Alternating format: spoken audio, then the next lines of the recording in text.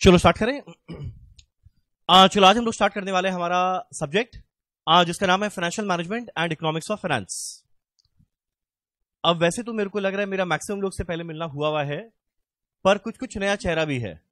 आ, कितने लोग से आज हम फ़र्स्ट टाइम मिल रहा है? चलो कुछ लोग हैं जो लोग से हम फ़र्स्ट टाइम मिल रहा है। आ, हमी रंजन ठीक। आ, चलो अब देखो आ, जब कॉस्ट का पहला क्लास था तो बैठ के पहला आधा घंटा अपना तारीफ़ किया था। एक सेशन में एक ही बार करता है।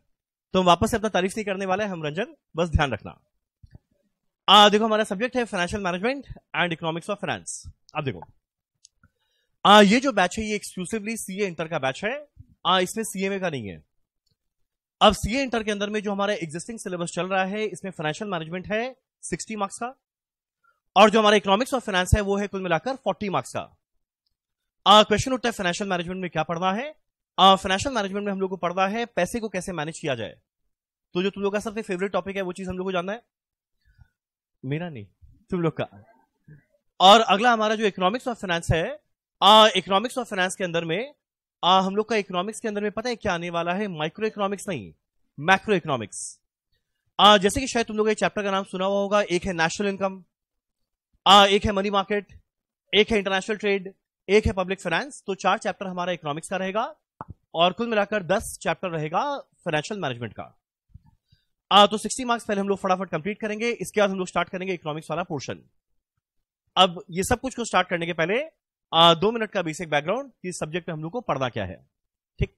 अच्छा एक सेकंड जो लोग से हम फ़र्स्ट टाइम मिल रहे हैं ना आ, मैं एक बार बस हम बताए थे हम थोड़ा ना स्ट्रिक्ट है।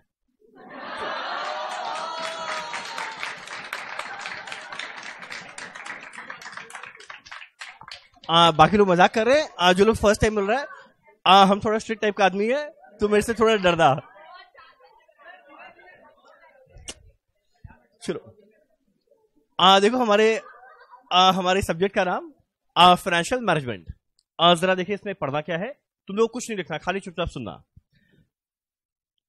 सब्जेक्ट का नाम है फाइनेंशियल मैनेजमेंट अब देखो जो वर्ड है ना फाइनेंशियल मैनेजमेंट इसके अंदर में दो वर्ड है एक है फाइनेंशियल एक है मैनेजमेंट और एक बात बताते हैं एक से एक और एक बात बताते हैं जो वर्ड मैनेजमेंट है ना आ, ये तुम लोग का क्लास इलेवन ट्वेल्व के अंदर में बीएसटी आ, या फिर क्या होता था कॉमर्स उसके अंदर में वर्ड मैनेजमेंट सुना हुआ है. आ, कोई मेरे को बताएगा मैनेजमेंट का मतलब क्या? मैनेजमेंट का मतलब मैनेज करना. वाह. और क्यों होता मैनेजमेंट का मतलब क्या? बेस्ट यूज़ ऑफ़ रिसोर्सेज और बोलो क्या? क्या? किसी से काम निकलवाना? बहुत अच्छा। आ, और बोलो मतलब क्या? Planning organising staffing directing controlling coordination ये सब आ, ये सब वर्ड किसका दिया हुआ है? आ, एक मिनट किसका? आ, हेनरी फ्योल अब देखो यहाँ पे बहुत सारा वर्ड आया मैनेजमेंट का मतलब। अब हम बनाते हैं मैनेजमेंट का मतलब क्या है? जो सबसे अच्छा आंसर दिया वो था वो। मैनेजमेंट का मतलब क्या है? मैनेज करना। झमेला ही खत्म। मैनेजमेंट का मतलब क्या है? मैनेज करना। क्वेश्चन उठता है क्या? अब जैसे एग्ज़ाम्पल आज देखो, आज तुम लोगों ने एफ़ का पहला क्लास था तो तुम लोग देखो ना, आज पहला क्लास में हम लोग को बहुत कुछ मैनेज करना पड़ा। आज जब तुम लोग यहाँ पर आया तुम लोग का सबसे पहले बाहर में आईडी कार्ड चेक किया गया। हाँ? मतलब कल से चेक होगा। सबसे पहले आ, तुम लोग बाहर में आईडी कार्ड चेक किया जाएगा। आ, इसके बाद तुम लोग को यहाँ पर बिठाया गया। बता मतलब वो गाइड किए ना यहाँ लड़के लोग बैठो। आ, यहाँ पे गर्ल्स ठीक है कुछ लोग का पता था इसलिए। आ, इसके बाद सारा का सारा सिस्टम को ऑन ऑन होना हुआ। इसके बाद आना हुआ रंजन का।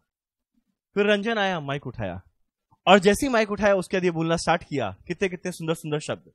तो जो आज पहला क्लास था ना इसको मैनेज करना था तो ये भी तो एक तरह का मैनेजमेंट है। अभी चल रहा है शादी का सीज़न डेली मेरे पास इन्विटेशन है। मेरे शादी में आइए मेरे शादी में आइए मेरी शादी में आइए हम जाते नहीं। घूमर करने के लिए नहीं ऐसे इन्विटेशन आया था। ठीक। अब देखो आज अभी डेली शादी का सीज़न चलता है और आजकल ना शादी का सीज़न लंबा बहुत लंबा चौड़ा चलता है। भाई एक शादी क्या होता है दस दिन फ़ंक्शन होना शुरू हो जाता है। आ, ये सबको भी मैनेज करना पड़ता है। तो बोले वाह हम लोग इस सब्जेक्ट में ये सब पढ़ना है? नहीं। आ, यहाँ पे हम लोग को मैनेज करना सीखना है क्वेश्चन उठता है क्या चीज़ को? फाइनेंशियल रिसोर्सेस को। आ, यहाँ पे मेरे को मैनेज करना सीखना है क्या चीज़ को? फाइनेंशियल रिसोर्सेज को। आ, मेरा अगला क्वेश्चन उठता है फाइनेंशियल रिसोर्सेज का मतलब क्या? पता है फाइनेंशियल रिसोर्सेज वो चीज़ है आ, जिस चीज़ के लिए हम पढ़ा रहा है जिस चीज़ के लिए तुम लोग पढ़ रहा है। वो लोग क्या? आ, क्या? आ, ये शायद तुम लोग अपना बात कर रहा हम पैसा के लिए नहीं पढ़ाता। एक मिनट एक मिनट ये जो बोले फ़ीस क्यों दिए? आ, ये पूर्वजों का कहा हुआ है कि मतलब गुरु दक्षिणा देना ज़रूरी है। और अगर बाई स्टिल किसी को लग रहा है कि हम पैसा के लिए पढ़ाता है क्लास के बाद दुखना वापस ले जाना। तुम समझ ना मतलब? ऑब्वियस है तुम तुम लोग मांगेगा नहीं? इतना प्यार से दिया थोड़ा बहुत छोटा मोटा अमाउंट आ तो देखो मेरा हुआ क्या? फाइनेंशियल मैनेजमेंट में मेरे को क्या पढ़ना है मैनेज करना सीखना है क्वेश्चन उठता है क्या चीज़ को? फाइनेंशियल रिसोर्सेज को। आ, मेरा फाइनेंशियल रिसोर्सेज मतलब क्या है? पैसा। आ, यानी भैया, पैसा को मैनेज करना सीख गए तो दुनिया कितना बड़ा चीज़ सीख गए। पैसा कमाना आसान है, उतना भी नहीं। पैसा कमाना आसान है, पर एक बार पैसा आ गया, उसको ढंग से मैनेज करना और ज़्यादा डिफ़िकल्ट चीज़ है। भाई, पैसा बहुत लोग कमाते हैं, पर क्वेश्चन उठता है क्या वो अपने पास ढंग से मैनेज कर पाता है? बिल्कुल नहीं। आ एग्जैक्ट वो चीज़ को मैनेज करना सीखना है, इस पर्टिकुलर सब्जेक्ट में ठीक? अब एक आखिरी बात। मालूम ना मेरे को एक नया बिज़नेस स्टार्ट करना है। मालूम क्या चीज़ का बिज़नेस स्टार्ट करें? मोमो बेचने का। कुछ तो अच्छा बोलता। लो मेरे को एक नया बिज़नेस स्टार्ट करना है। अब नया बिज़नेस को स्टार्ट करने के लिए मेरे को चाहिए पैसा। आ, ये पूरे सब्जेक्ट में हम लोग जानेंगे क्या? और मान लो मेरे को नया बिज़नेस स्टार्ट करने के लिए चाहिए पैसा तो भाई क्वेश्चन उठता है पैसा कहाँ से लेकर आए? बहुत अरे हमको पता है बैंक से। आ, कहाँ से लेकर आए वो मेरे को डिसाइड करना है। और एक और पैसा आ गया, ये पैसा कहाँ पर लगाए, ये मेरे को डिसाइड करना है। यानी शॉर्ट पूरे के पूरे सब्जेक्ट के अंदर में हम लोग दो चीज़ जानेंगे। एक, पैसा कहाँ से लेकर आए? पता है इसको अंग्रेज़ी में बोलते हैं प्रोक्योरमेंट ऑफ़ फंड वर्ड सुने बचपन में? प्रोक्योरमेंट ऑफ़ फंड और एक और फंड आ गया, इसके बाद मेरे को इसको ढंग से यूज़ करना है। इसको क्या बोलते हैं? यूटिलाइजेशन ऑफ़ फंड यानी पूरे सब्जेक्ट में हम लोग जानेंगे कि पैसा कहाँ से लेकर आए और कहाँ पैसा लगाए। हम चाहेंगे दो सवाल का जवाब आप लोग खुद दे। पता है, पैसा वहाँ से लेना चाहेगा, पता है, जहाँ से भी रुपया लेके आएँगे ना, इसके अगेंस्ट में मेरे को उसको कुछ देना पड़ेगा। आ इंटरेस्ट देना पड़ेगा, मान लो बैंक से लेकर इंटरेस्ट देना पड़ेगा। तो जब पैसा वहाँ से लेकर आना चाहेगा, आ, जहाँ मेरा खर्चा, आ, ज़्यादा से ज़्यादा रहे कम से कम? आ, कम से कम, यानी मिनिमम कॉस्ट और पता है, पैसा वहाँ लगाना चाहेगा, आ, जहाँ पे मेरा रिटर्न मैक्सिमम आए। तो भैया रिटर्न आ रहा है मैक्सिमम खर्चा लग रहा है कम से कम तो जैसी दोनों चीज़ हम साथ साथ कर दिया, मेरा प्रॉफिट बढ़ जाएगा ना। तो ये कारण है हम लोग फाइनेंशियल मैनेजमेंट पढ़ते हैं। आ मेरा एक छोटा सा और आखिरी बात। क्या लगता है ये सारा डिसीज़न आ एक कंपनी के अंदर में आ वहाँ का टॉप मैनेजमेंट लेता होगा या वहाँ का क्लर्क लेता होगा?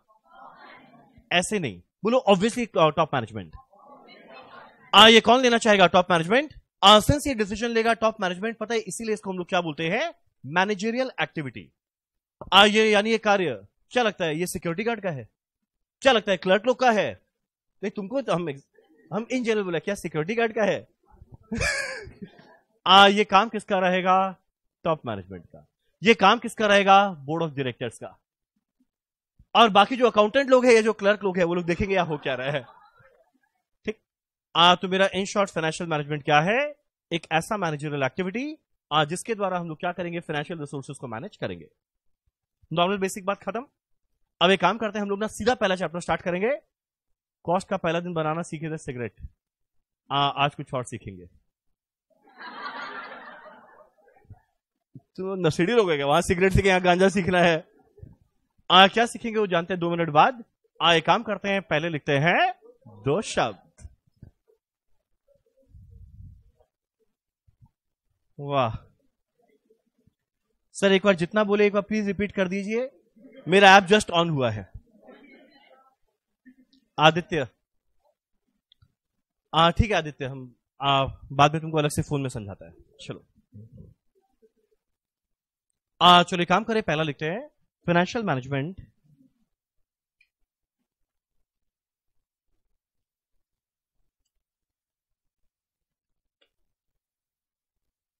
is a managerial activity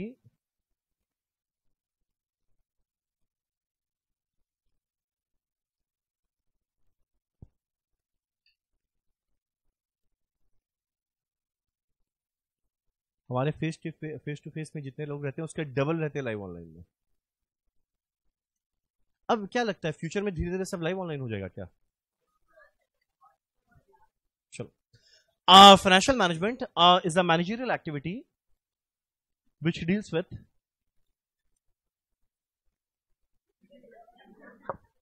ठीक। कभी कभी uh, मेरा financial management is a managerial activity which deals with चार शब्दों का प्रयोग करेगा। ये एग्जैक्ट वो चार शब्द है जो इन्होंने कहा था। आपका नाम क्या है? रिया एग्जैक्ट वो चार शब्द। Financial management is a managerial activity which deals with planning कुछ ज़्यादा नहीं सब वर्ड सुना हुआ। Class eleven twelve B S C commerce Henri Fayol याद आ रहा है वो इंसान? जो हमारी लाइफ को इतना सुंदर बनाकर गया था। uh, which deals with planning, uh, organizing, economy, uh, which deals with planning, comma, organizing, comma, directing, and controlling. नहीं यहां पे खाली चार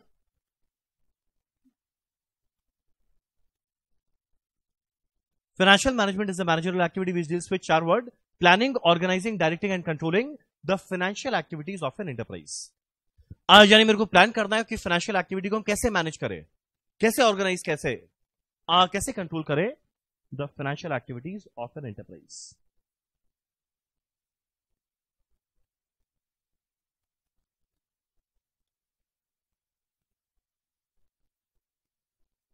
ठीक। और मेरा अगला क्वेश्चन उठता है फाइनेंशियल एक्टिविटी में आता क्या है? दो चीज़। आ, तुम लोग बताएगा फाइनेंशियल एक्टिविटी में दो चीज़ क्या था? आ, एक डिसीज़न लेना है पैसा कहाँ से? प्रोक्योरमेंट ऑफ़ फंड और मेरा अगला क्या था? यूटिलाइजेशन ऑफ़ फंड आज यानी मेरा फाइनेंशियल एक्टिविटी में आएगा दो चीज़। एक, पैसा कहाँ से लाए? अगला, पैसा कहाँ लगाए? तो अगला लिखते हैं financial activities primarily include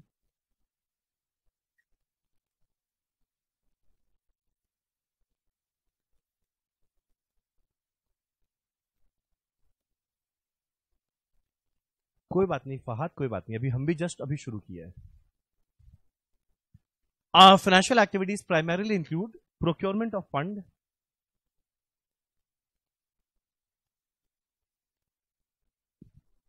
procurement of fund यानी पैसा कहाँ से लेकर आए and effective utilisation of fund कि पैसा वहाँ लगाओ जहाँ पे ढंग से इफेक्टिवली हम लगा पाए and effective utilisation of fund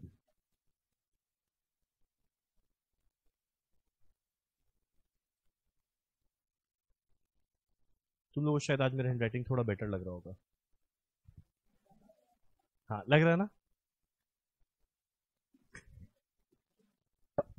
चलो डन अब एक काम करते हैं एक सुंदर सा ना चार्ट टाइप का बनाते हैं और फिर सीधा हम लोग अपना पहला चैप्टर स्टार्ट करते हैं। आ, जैसा जो लोग अभी कॉस्ट का क्लास कर रहे थे लास्ट चार पाँच दिन में तुम लोग देखा होगा हम बहुत ज़बरदस्त इंसेंटिव बटा था। पूरा बरसा दिया था। जो राइट आंसर दिया जो राइट आंसर दिया आ एक काम करते हैं आज। तुम लोग ना पहला एक घंटा थोड़ा ध्यान देना आज जो फ़र्स्ट वन आर में पढ़ाएगा वो वापस यहाँ पे बुला के किसी से पूछेगा। राइट आंसर देने वाले को मिलने वाला है एक स्पेशल इंसेंटिव दो हज़ार? नहीं एक घंटे पढ़ाने का दो हज़ार। लुट जाएगा हम। आपको स्पेशल इंसेंटिव देखते हैं क्या?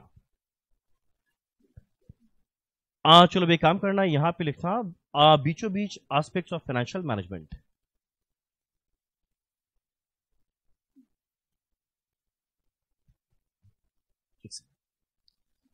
बीचों बीच लिखना एस्पेक्ट्स ऑफ़ फाइनेंशियल मैनेजमेंट कुल मिलाकर है दो।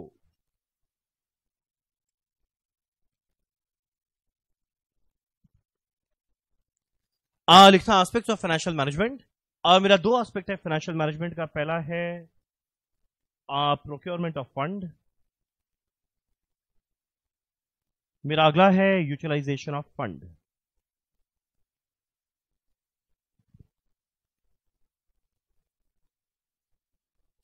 मेरा पहला है प्रोक्योरमेंट ऑफ़ फंड मेरा अगला है यूटिलाइजेशन ऑफ़ फंड नॉर्मल बात? अब देखिए तुम लोगों को अकाउंट्स का कितना सुंदर ज्ञान है। आ, एक बार इमेजिन करो ये मेरा बैलेंस शीट ठीक? आ मेरे को एक बात बताओ जो प्रोक्योरमेंट ऑफ़ फंड है यानी पैसा कहाँ से लेके आना है? तुम लोग तो लाइब्रेरी के कौन आ, एक भूल जाओ लास्ट में क्या बोला? आ, एक बार बताओ जरा अपने आप। आप बैलेंस शीट के कौन से साइड में लिखते हैं? और पैसा कहाँ पे लगाना है? ये कौन से साइड में लिखते हैं? असेट साइड यानी पैसा कहाँ से लेकर आए? इक्विटी शेयर या प्रेफरेंस शेयर या डिवेंचर या लोन लाइब्रेटी साइड हो गया.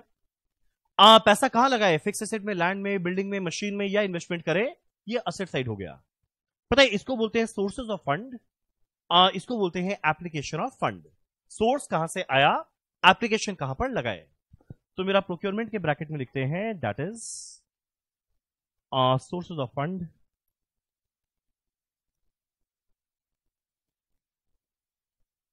मेरा यूटिलाइजेशन के ब्रैकेट में लिखते हैं that is application of fund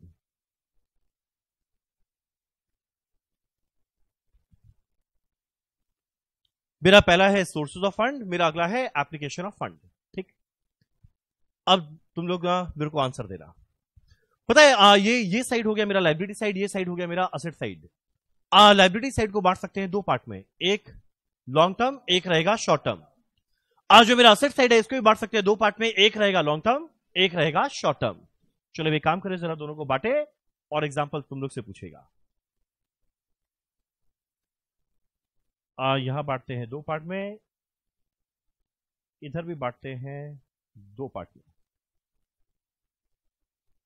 ये मेरा लॉन्ग टर्म शॉर्ट टर्म यहाँ रहेगा लॉन्ग टर्म और यहाँ रहेगा शॉर्ट टर्म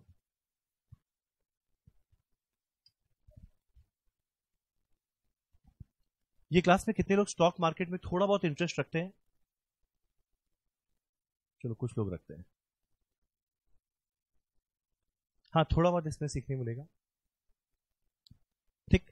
आ, मेरा पहला क्वेश्चन उठता है। आ, ये जो मेरा लाइब्रेरी साइड है इसमें लॉन्ग टर्म है एक है शॉर्ट टर्म कोई एक और लाइब्रेरी साइड को इमेजिन करो। और इमेजिन करके बताओ मेरा लॉन्ग टर्म क्या रहेगा शॉर्ट टर्म क्या रहेगा और जब भी बात करेंगे हम लोग हमेशा बात करेंगे कंपनी के व्यू पॉइंट से। आ, तुम लोग तो एक कंपनी के अंदर में लॉन्ग टर्म पैसा कहाँ से आया? आ, मेरा पहला है इक्विटी शेयर अगला बोलो क्या? प्रेफरेंस शेयर अगला बोलो क्या? डिवेंचर अगला बोलो क्या? आ, बैंक से लॉन्ग टर्म लोन आ, ये हो जाएगा सारा का सारा लॉन्ग टर्म पैसा। आज जो मेरा शॉर्ट टर्म लाइबिलिटी है वो क्या होता है? करंट लाइबिलिटी करंट लाइबिलिटी का दो एग्जांपल दो। आ, आ, मेरा पहला क्रेडिटर अगला बोलो क्या? आ, बिल्स पेबल आउटस्टैंडिंग एक्सपेंसेस बस बैंक ओवरड्राफ्ट ये सब कुछ। तो एक काम करते हैं लॉन्ग टर्म का एग्ज़ाम्पल क्या है? आज जब पैसा लेकर आएँगे लॉन्ग टर्म से इधर आएगा इक्विटी शेयर चलो पहला लिखते हैं इक्विटी शेयर या लेकर आएँगे प्रेफरेंस शेयर या लेकर आएँगे डिवेंचर या लेकर आएँगे बैंक से लॉन्ग टर्म लोन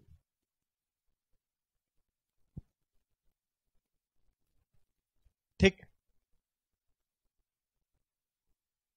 ठीक है ना? ठीक है ना? अरे बोलो। आ, ये है मेरा लॉन्ग टर्म लाइबिलिटी आ, मेरा अगला क्वेश्चन उठता है शॉर्ट टर्म लाइबिलिटी क्या होता है? करंट लाइबिलिटी जस्ट दो मिनट पहले तुम लोग एग्जांपल दिया था मेरा पहला है क्रेडिटर आ, मेरा अगला है बिल्स पेबल मेरा अगला है आउटस्टैंडिंग एक्सपेंसेस बस ये दो तीन एग्ज़ाम्पल बहुत है। चलो डन अब देखो एक और मेरा पैसा आ गया लॉन्ग टर्म या शॉर्ट टर्म से अब ये पैसा आने के बाद मेरे को कहीं लगाना है? आज जब लगाएँगे वो इधर लगाएँगे लॉन्ग टर्म असेट में या लगाएँगे शॉर्ट टर्म में. एक सेकेंड कोई मेरे को देगा लॉन्ग टर्म असेट का एग्ज़ाम्पल लैंड हो गया बिल्डिंग हो गया मशीन हो गया यानी इन शॉर्ट बोले फिक्स असेट अगला बताओ मेरा और लॉन्ग टर्म का एग्ज़ाम्पल क्या? आ, मेरा क्या रहेगा? लॉन्ग टर्म इन्वेस्टमेंट तुम लोग का पढ़ा हुआ ए एस थर्टीन जहाँ पे रहता था करंट इन्वेस्टमेंट और लॉन्ग टर्म इन्वेस्टमेंट तो ये हो गया मेरा लॉन्ग टर्म आ मेरा क्वेश्चन उठता है शॉर्ट टर्म असेट क्या होता है? करंट असेट आ कोई मेरे को तीन चार एग्ज़ाम्पल दो करंट असेट का क्या आएगा? आ डेटर हो गया आ बी आर हो गया इन्वेंट्री हो गया कैश एंड बैंक हो गया या प्रीपेड हो गया ये सब। तो एक काम करते हैं लॉन्ग टर्म में एग्ज़ाम्पल क्या है? आ, सबसे पहला है हमारा फिक्स असेट मेरा अगला क्या है? लॉन्ग टर्म इन्वेस्टमेंट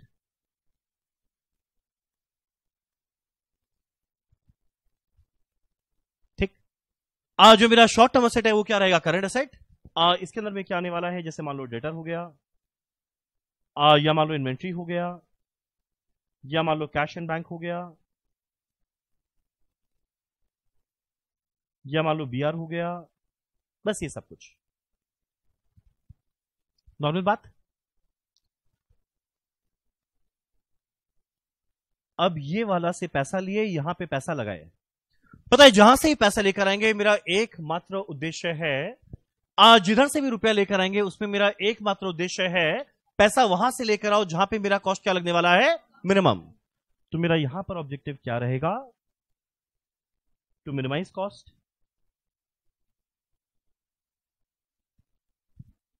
आ, पैसा वहाँ से लेकर आए जहाँ पे मेरा उद्देश्य क्या रहेगा? अपने कॉस्ट को कम से कम करना।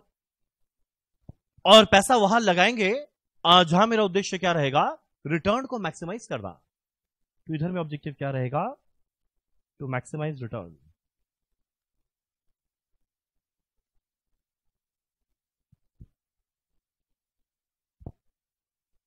ठीक है, यहाँ तक? आज यानी सोचो, जो हमारा टॉप मैनेजमेंट है, कितना मेहनत करता है। वो ये डिसाइड करता है कहाँ से रुपया लाए, ताकि खर्चा कम लगे। आ, वो ये डिसाइड करता है कहाँ रुपया लगाए, ताकि रिटर्न मैक्सिमम आए। अब जैसे ये दोनों ऑब्जेक्टिव एक साथ पूरा करेगा आ, जैसे ये दोनों ऑब्जेक्टिव एक साथ पूरा करेगा ऑटोमेटिकली इसका प्रॉफिट क्या हो जाएगा? मैक्सिमम तो जैसे ही दोनों को जोड़ेंगे क्या आएगा? प्रॉफिट मैक्सिमाइजेशन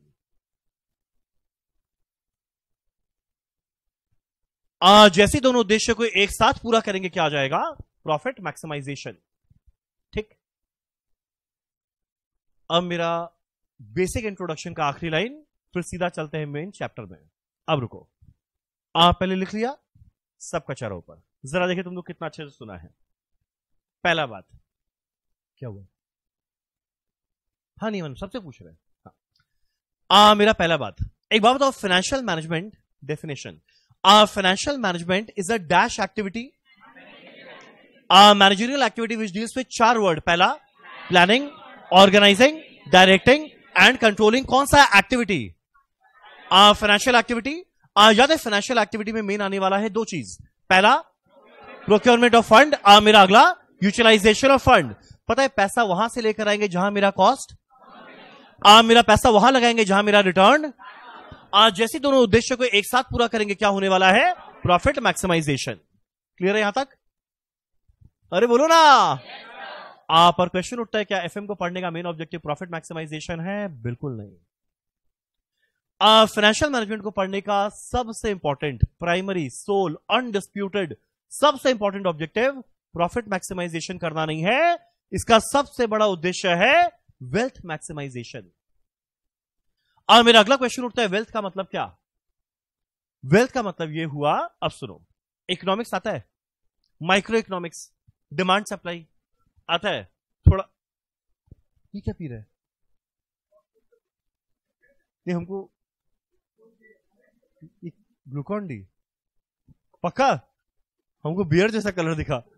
बोला क्लास में कौन पीता है? सुनो। आ, अब सुनो। आ, मान लो मान लो, अब दो मिनट के लिए ना थोड़ा इकोनॉमिक्स का ज्ञान लगाना। आ, मान लो एक बार के लिए इमेजिन करो मेरे कंपनी का नाम है R I L Ranjan Industries Limited. ज़रूरी नहीं, हर चीज़ रिलायंस हो। आ मेरे कंपनी का नाम है रंजन इंडस्ट्रीज़ लिमिटेड और मान लो तुम लोग सब पता है कौन है मेरे कंपनी का? शेयर होल्डर आज जब तुम लोग मेरे कंपनी के अंदर में पैसा इन्वेस्ट किया था आ, इस सोच में किया था इस चाहत के साथ किया था कि भाई पहला साल के एंड में ना डिविडेंड तुम लोग को चाहिए पाँच रुपया पर शेयर एग्ज़ाम्पल है पाँच रुपया पर शेयर ठीक? अब थोड़ा बुद्धि लगाओ। और मान लो मेरा पहला साल में ज़बरदस्त प्रॉफिट कमाया।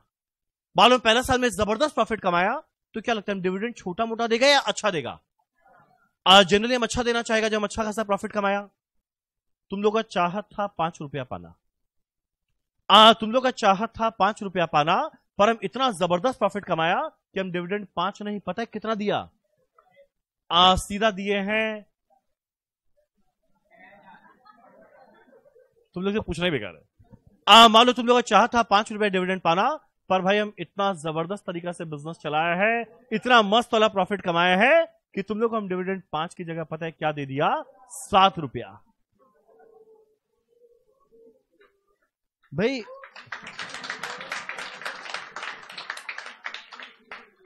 मैंने ये अप्रिशिएट किया है मज़ाक उड़ाया था? ओ अच्छा।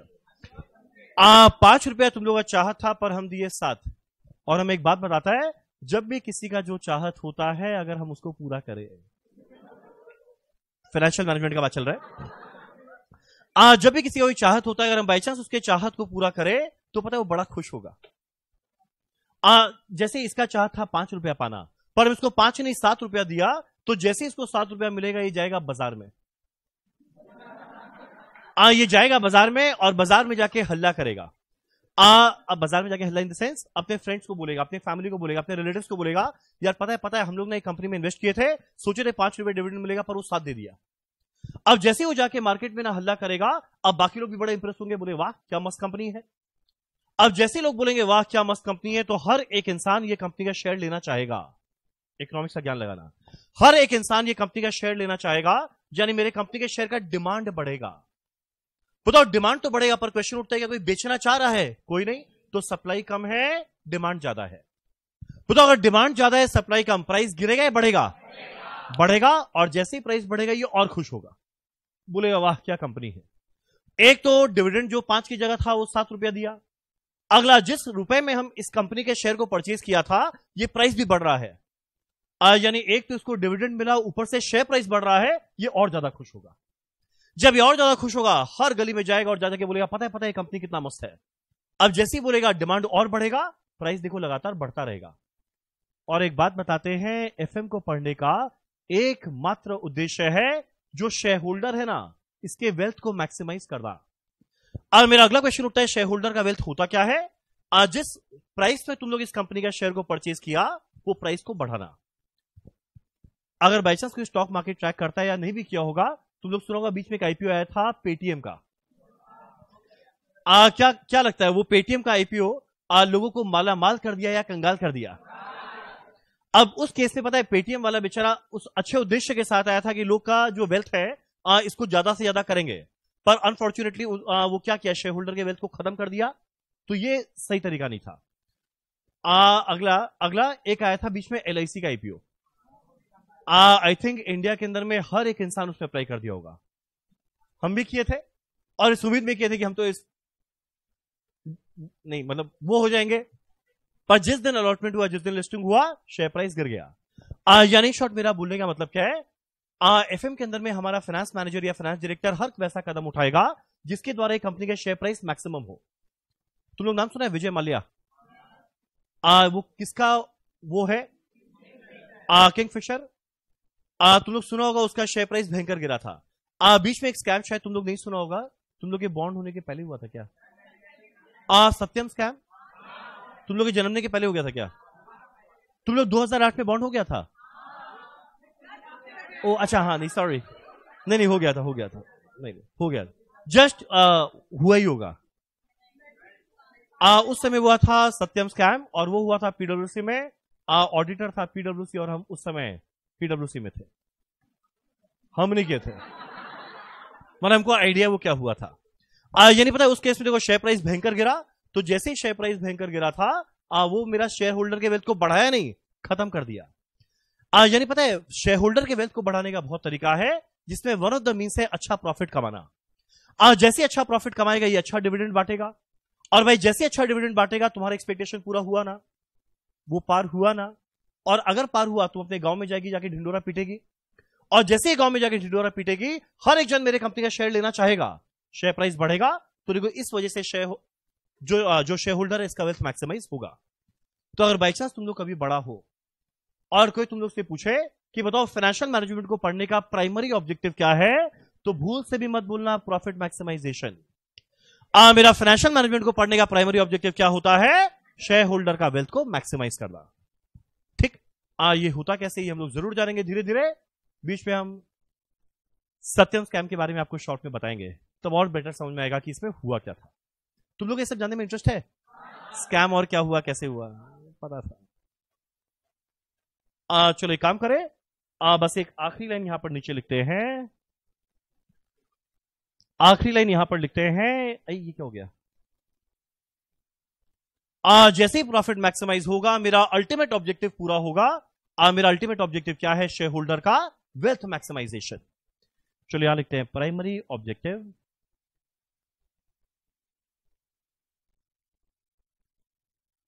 uh, wealth maximization.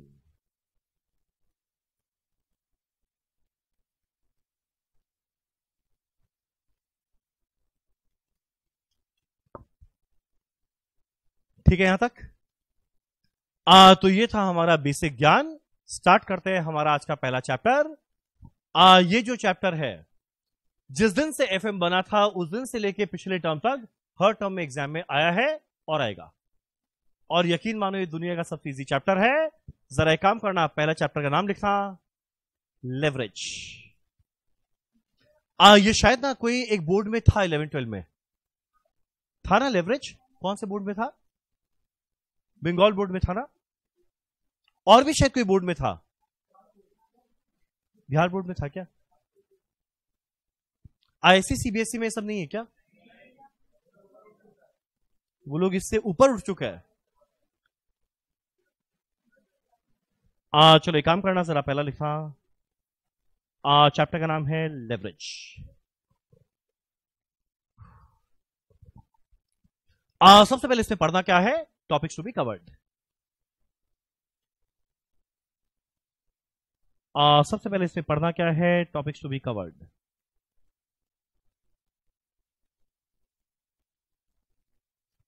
पहला टॉपिक हम लोग को पढ़ना है calculation of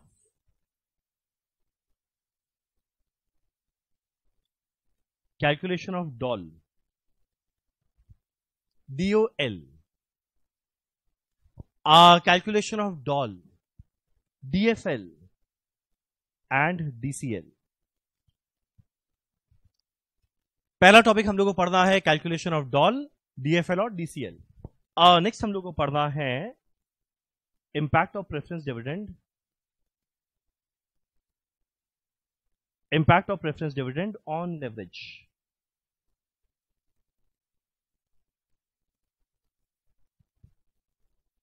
आ, तीसरा टॉपिक हम लोग को पढ़ना है ट्रेडिंग ऑन इक्विटी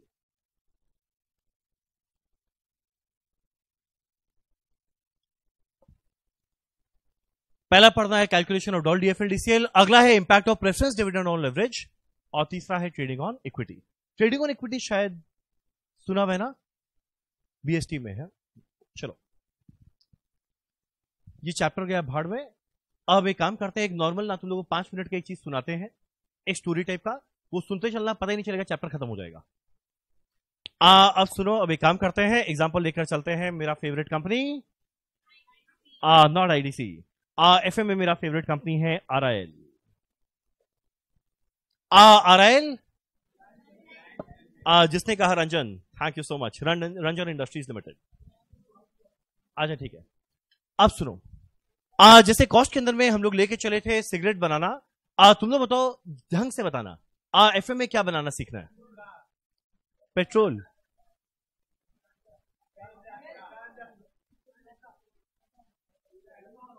आ, एक काम करते हैं आ, वहाँ पे तो सिगरेट के एग्जांपल लिए थे।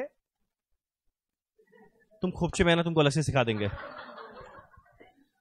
आ, अगला एफ़ एम में हम लोग एक काम करते हैं बनाना सीखते हैं। एक बहुत ही अच्छा चीज़ जो आप लोग हर एक जन के जीवन में सुबह से शाम काम आता है वो है मोमो। मोमो सुबह से शाम खाता है। आ, वो है पेन। तुम लोग दुखी है? सिगरेट ऐसे मैं इतना इंटरेस्ट के साथ सुना था।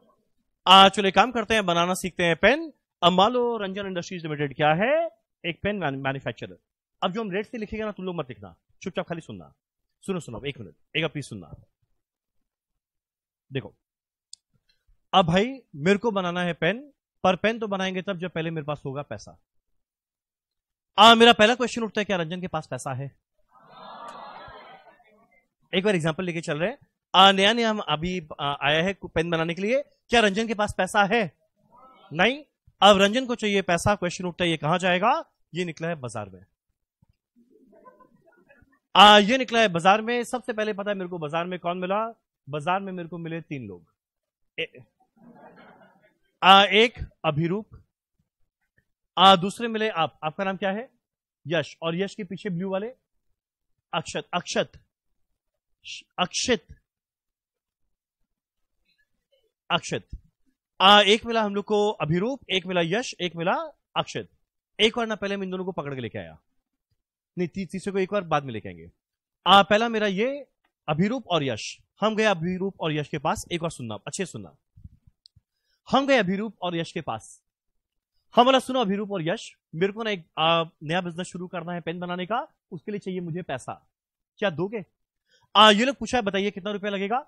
आ हम बोला देखो मेरे को दस लाख रुपया चाहिए। अब अभिरूप बोलता है मांगे भी तो दस लाख आपके लिए दस करोड़ हाजिर था। हम बोला नहीं मेरे को खाली दस लाख रुपया चाहिए क्या दोगे? बोला ज़रूर देंगे। पर अब ये तुरंत अगला दिन बोलता है पैसा तो देंगे पहले ये बताइए उसके बदले आप हर साल क्या देंगे? पापी दुनिया अभी तक पैसा दिया नहीं बोलता आप क्या देंगे?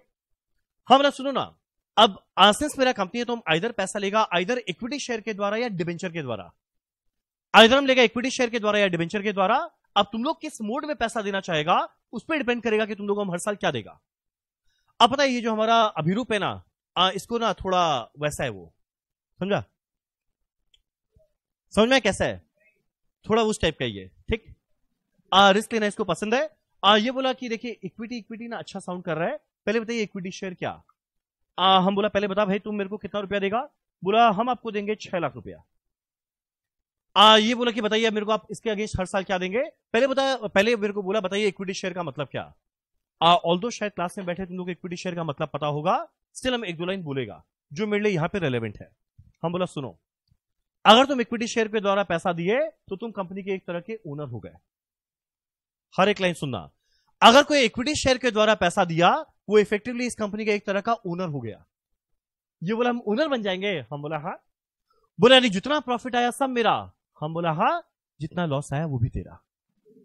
तुम लोग हर एक लाइन समझ रहे आज जितना प्रॉफिट आया वो मेरा, बोला एकदम, पर भाई जितना लॉस आया वो भी तेरा। कारण क्या ये कंपनी का ओनर बन गया? तो ये बोला हाँ चलिए ठीक है, मेरे को रिस्क लेना पसंद है। हम बनेंगे ओनर हम आपको देते हैं छह लाख। अब अगर ये मेरे को दे रहा है छह लाख रुपया तो बताइए इसके अगेंस्ट में उसको क्या देने वाला है? Sixty thousand equity share at the rate rupees ten each clear है यहाँ तक? अरे बोलो ना। ठीक। अब अगला बार यह है यश का। आ, यश बोला बताइए दूसरा तरीका क्या है पैसा देने का? हम बोला डिबेंचर बोला डिबेंचर एक तरह का क्या है? हम बोला अगर तुम मेरे को डिबेंचर के द्वारा पैसा देता है तो ये एक तरह का लोन है। डिबेंचर के द्वारा अगर ये पैसा दिया ये एक तरह का लोन है। और तुम लोग बताओ अगर ये मेरे को चार लाख रुपया देता है डिबेंचर के द्वारा जो एक तरह का लोन है तो हम इसको हर साल क्या देगा? आ, लोन के अगेंस्ट में क्या दिया जाता है? इंटरेस्ट? ये मेरे से पूछा इंटरेस्ट रेट क्या? हम बोला दस परसेंट। अब अगला दो क्वेश्चन ये मेरे से पूछ रहा है पर इसका जवाब मेरे भी बिहाफ में तुम लोग देगा इसको। देखो उसको। जवाब दो। आ, ये मेरे से पूछा मान लीजिए कोई साल में कोई साल में कोई साल में ज़बरदस्त वाला प्रॉफिट हो जाए। आ, कोई साल में ज़बरदस्त वाला प्रॉफिट हो जाए क्या मेरे को दस परसेंट से ज़्यादा मिलेगा? नहीं, नहीं मिलेगा। बोला अगर मान लीजिए कोई साल में लॉस हो गया तो दस परसेंट तो मिलेगा। मिलेगा नहीं मिलेगा? आ भले ही प्रॉफिट हो या लॉस हो इसका अगर फिक्स किया हुआ है दस परसेंट इसको क्या मिलने वाला है? दस परसेंट। आज यानी बोलता है यानी मेरा एक तरह का कोई रिस्क नहीं है। हम बोला आपका कोई रिस्क नहीं है। हर एक लाइन समझना हर एक शब्द में। आ, तुम कौन है?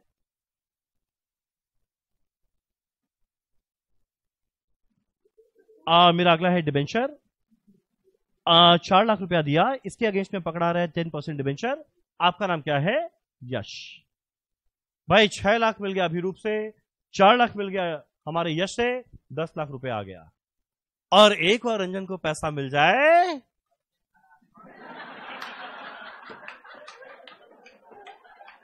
तुम लोग कुछ अच्छा नहीं बोल सकता ना मेरे लिए. एक तुम लोग चलो आ तुम लोग बताओ. और एक बार रंजन को रुपया मिल जाए. आप पैसा डबल क्या बात है? बोले एक बार रंजन को रुपया मिल जाए फिर वो ज़बरदस्त फिर वो ज़बरदस्त अच्छा बिज़नेस करने वाला है। भाई पैसा आ गया पर मेरे को बनाना है पेन रस्ते में थोड़ी बनाएँगे हम। हम रस्ते में थोड़ी बनाएगा। मेरे को चाहिए एक जगह और जगह लेने पता है किसके पास जाने वाला है? आपके पास। आ, आपका नाम है अक्षत। तुम लोगों को पता नहीं अक्षत कौन है। और सच बता रहा है नहीं। अक्षत के पास कैलकाटा में ज़बरदस्त वाला रियल एस्टेट है। तो मेरे को बताने ना किया था बट स्टिल हम बता दे रहे हैं। इसके पास भयानक वाला रियल एस्टेट है मेरे को चाहिए इससे एक जगह। इसके पास बहुत जगह है। जगह ही जगह है। आ, मेरे को चाहिए इससे जगह ये मेरे को दिया बोला ये वाला जगह आप यूज़ कर लो। अब यश सॉरी वो है अक्षित। अक्षित से हम ले रहे हैं जगह। अक्षित से हम ले रहे हैं जगह रेंट पे। हम इससे पूछा भाई तुम बता मेरे को एक बहुत बड़ा जगह चाहिए। आ, तुम बताओ तुम मेरे से कितना रेंट चार्ज करेगा? कुछ भी नंबर बोल दो ना। पचास हज़ार? Fifty thousand per month. यानी साल का आता है छह लाख। अब ऑब्वियस होता है ये जो बोलेगा हम तुरंत थोड़ी मान जाएगा। हम इसके साथ नेगोशिएशन किया। आ, इन्होंने कहा छह लाख रुपया साल का। हम नेगोशिएशन के बाद फाइनलाइज किया तीन लाख रुपया साल का। नेगोशिएशन नेगोशिएशन या रुपीज़ थ्री लाख पर एन हम जो देने वाले हैं रेंट का। भाई, पैसा आ गया, जगह आ गया, अब रंजन बनाता है पेन। अब तुम लोग को मेरे को कुछ नहीं करना, मेरा खाली लास्ट में प्रॉफिट कैलकुलेट कर देना। आया यर वन आया यर वन मान लो पहला साल में, पता है मैंने कितना पेन बनाकर बेचा है? दस हज़ार। पहला साल मैंने सुबह से शाम मेहनत किया, दस हज़ार पेन बनाया और बनाकर बेच रहे हैं। पता है हर एक पेन हम कितना में बेचते हैं, सौ रुपए में। वर्ल्ड क्लास पेन है। ऐसा पेन जो हाथ में आपके आप चलना शुरू हो जाए। ऐसा पेन है। एक सेकंड तुम लेगी ना पेन? तुम लेगी ना? तुम लेगी ना? सुन लिया? जवाब मिल गया? चुप हो जाओ। आ मालूम मेरा पहला लाइन मेरा सेल वैल्यू आने वाला है हर एक पेन को बेचे सौ रुपए में। तुम लोग एक काम करो ना, आ, एक और मेरा इनकम स्टेटमेंट कंप्लीट करवाना, फटाफट खाली कैलकुलेशन करके। आ, एक को बेचे सौ में, एक का सौ, एक का सौ, एक का सौ, एक का सौ, एक का सौ। बताओ, दस हज़ार पेन को बेचे, सेल वैल्यू क्या आने वाला है? आ, दस हज़ार इंटू सौ कितना आने वाला है? दस लाख? तो मेरा सेल वैल्यू क्या आया? दस लाख। पर भाई बेचेंगे तो तब जब पहले उसको बनाए होंगे। और बनाने के लिए क्या लगता है? डायरेक्ट मटेरियल अब थोड़ा याद करना कॉस्ट को। आप बनाने के लिए क्या लगता है? डायरेक्ट मटेरियल क्या लगता है? डायरेक्ट लेबर क्या लगता है? डायरेक्ट एक्सपेंस क्या लगता है? फैक्ट्री ओवरहेड मान लो हर एक पेन को बनाने का लगता है साठ रुपया। मान लो हर एक पेन को बनाने का लगता है साठ रुपया। तुम लोग एक बात बताओ। पता है कॉस्ट होता है दो तरीका का। एक को बोलते हैं वेरिएबल कॉस्ट एक को बोलते हैं फिक्स कॉस्ट बताओ, हर एक पेन को बनाने का लगता है साठ। अगर दस पेन बनाएँगे तो दस इंटू साठ, सौ बनाएँगे सौ इंटू साठ तो यानी यूनिट के बढ़ने के साथ साथ ये खर्चा बढ़ेगा। घबराओ मत। रंजन को कुछ नहीं होता। आ, घबराओ मत। हाँ अब हर एक पेन को बनाने का लगेगा साठ तो जैसे जैसे पेन ज़्यादा बनाएगा, खर्चा बढ़ेगा। बताओ, इस कॉस्ट को हम क्या बोले? फिक्स कॉस्ट बोले या वेरिएबल कॉस्ट बोले? मेरा वेरिएबल कॉस्ट सेल में से माइनस करते हैं वेरिएबल कॉस्ट मान लो है साठ रुपया पर पेन। आ, एक बार जरा कैलकुलेट करके बताओ वेरिएबल कॉस्ट क्या आने वाला है? छह लाख। अब देखिए तुम लोग कॉस्ट कितना याद है। सेल माइनस वेरिएबल कॉस्ट मेरा कंट्रीब्यूशन आने वाला है चार लाख। अब कोई मेरे को देखा कंट्रीब्यूशन में हम लोग क्या माइनस करते हैं? माइनस करते हैं फिक्स कॉस्ट एक मिनट कोई बताओ ये तीनों के अंदर में आ, ये तीनों के अंदर में मेरा फिक्स कॉस्ट कौन सा है? आ, जो अक्षित का रेंट है ये मेरा फिक्स कॉस्ट है।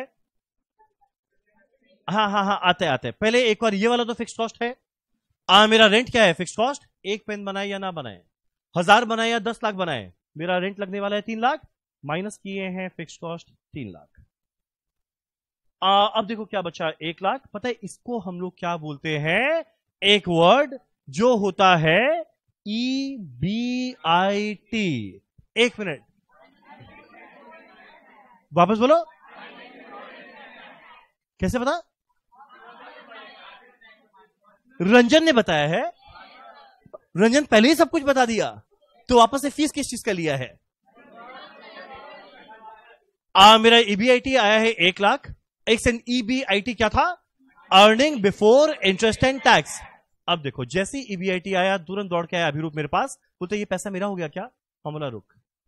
आ ये है earning before interest and tax तुम लोग बताओ earning before interest and tax से पहले क्या माइनस करें? इंटरेस्ट माइनस करेंगे अब माइनस करना है इंटरेस्ट कोई मेरे को देगा इसको तो पैसा दे दिए इंटरेस्ट इन दोनों में किसको मिलने वाला है? आ, अभिरूप को या यश को? आ, यश को कोई बताओ इंटरेस्ट का अमाउंट कितना? आ, मेरा चार लाख रुपए का लोन था चार लाख रुपए का लोन था. आ, इस पे इंटरेस्ट रेट है दस परसेंट. चार लाख का दस परसेंट कितना आने वाला है? चालीस हज़ार. माइनस करते हैं इंटरेस्ट चालीस हज़ार. आप कोई गेस करो इसका नाम क्या? आ, ये आने वाला है ईबीआईटी e में से आई गया। आ, ये क्या आने वाला है? ईबीटी ये आएगा साठ हज़ार। आ ईबीटी अर्निंग बिफोर टैक्स अब वापस आएगा अभिरूप। बोले साठ हज़ार मेरा? नहीं। भाई दुनिया में जो करना है करो पर लास्ट डे ज़रूर एक इंसान आएँगे उनका नाम है मोदी जी। और मोदी जी का ना बड़ा अच्छा स्टाइल है टैक्स लेने का। तुम्हारी फ्रेंड है निर्मला।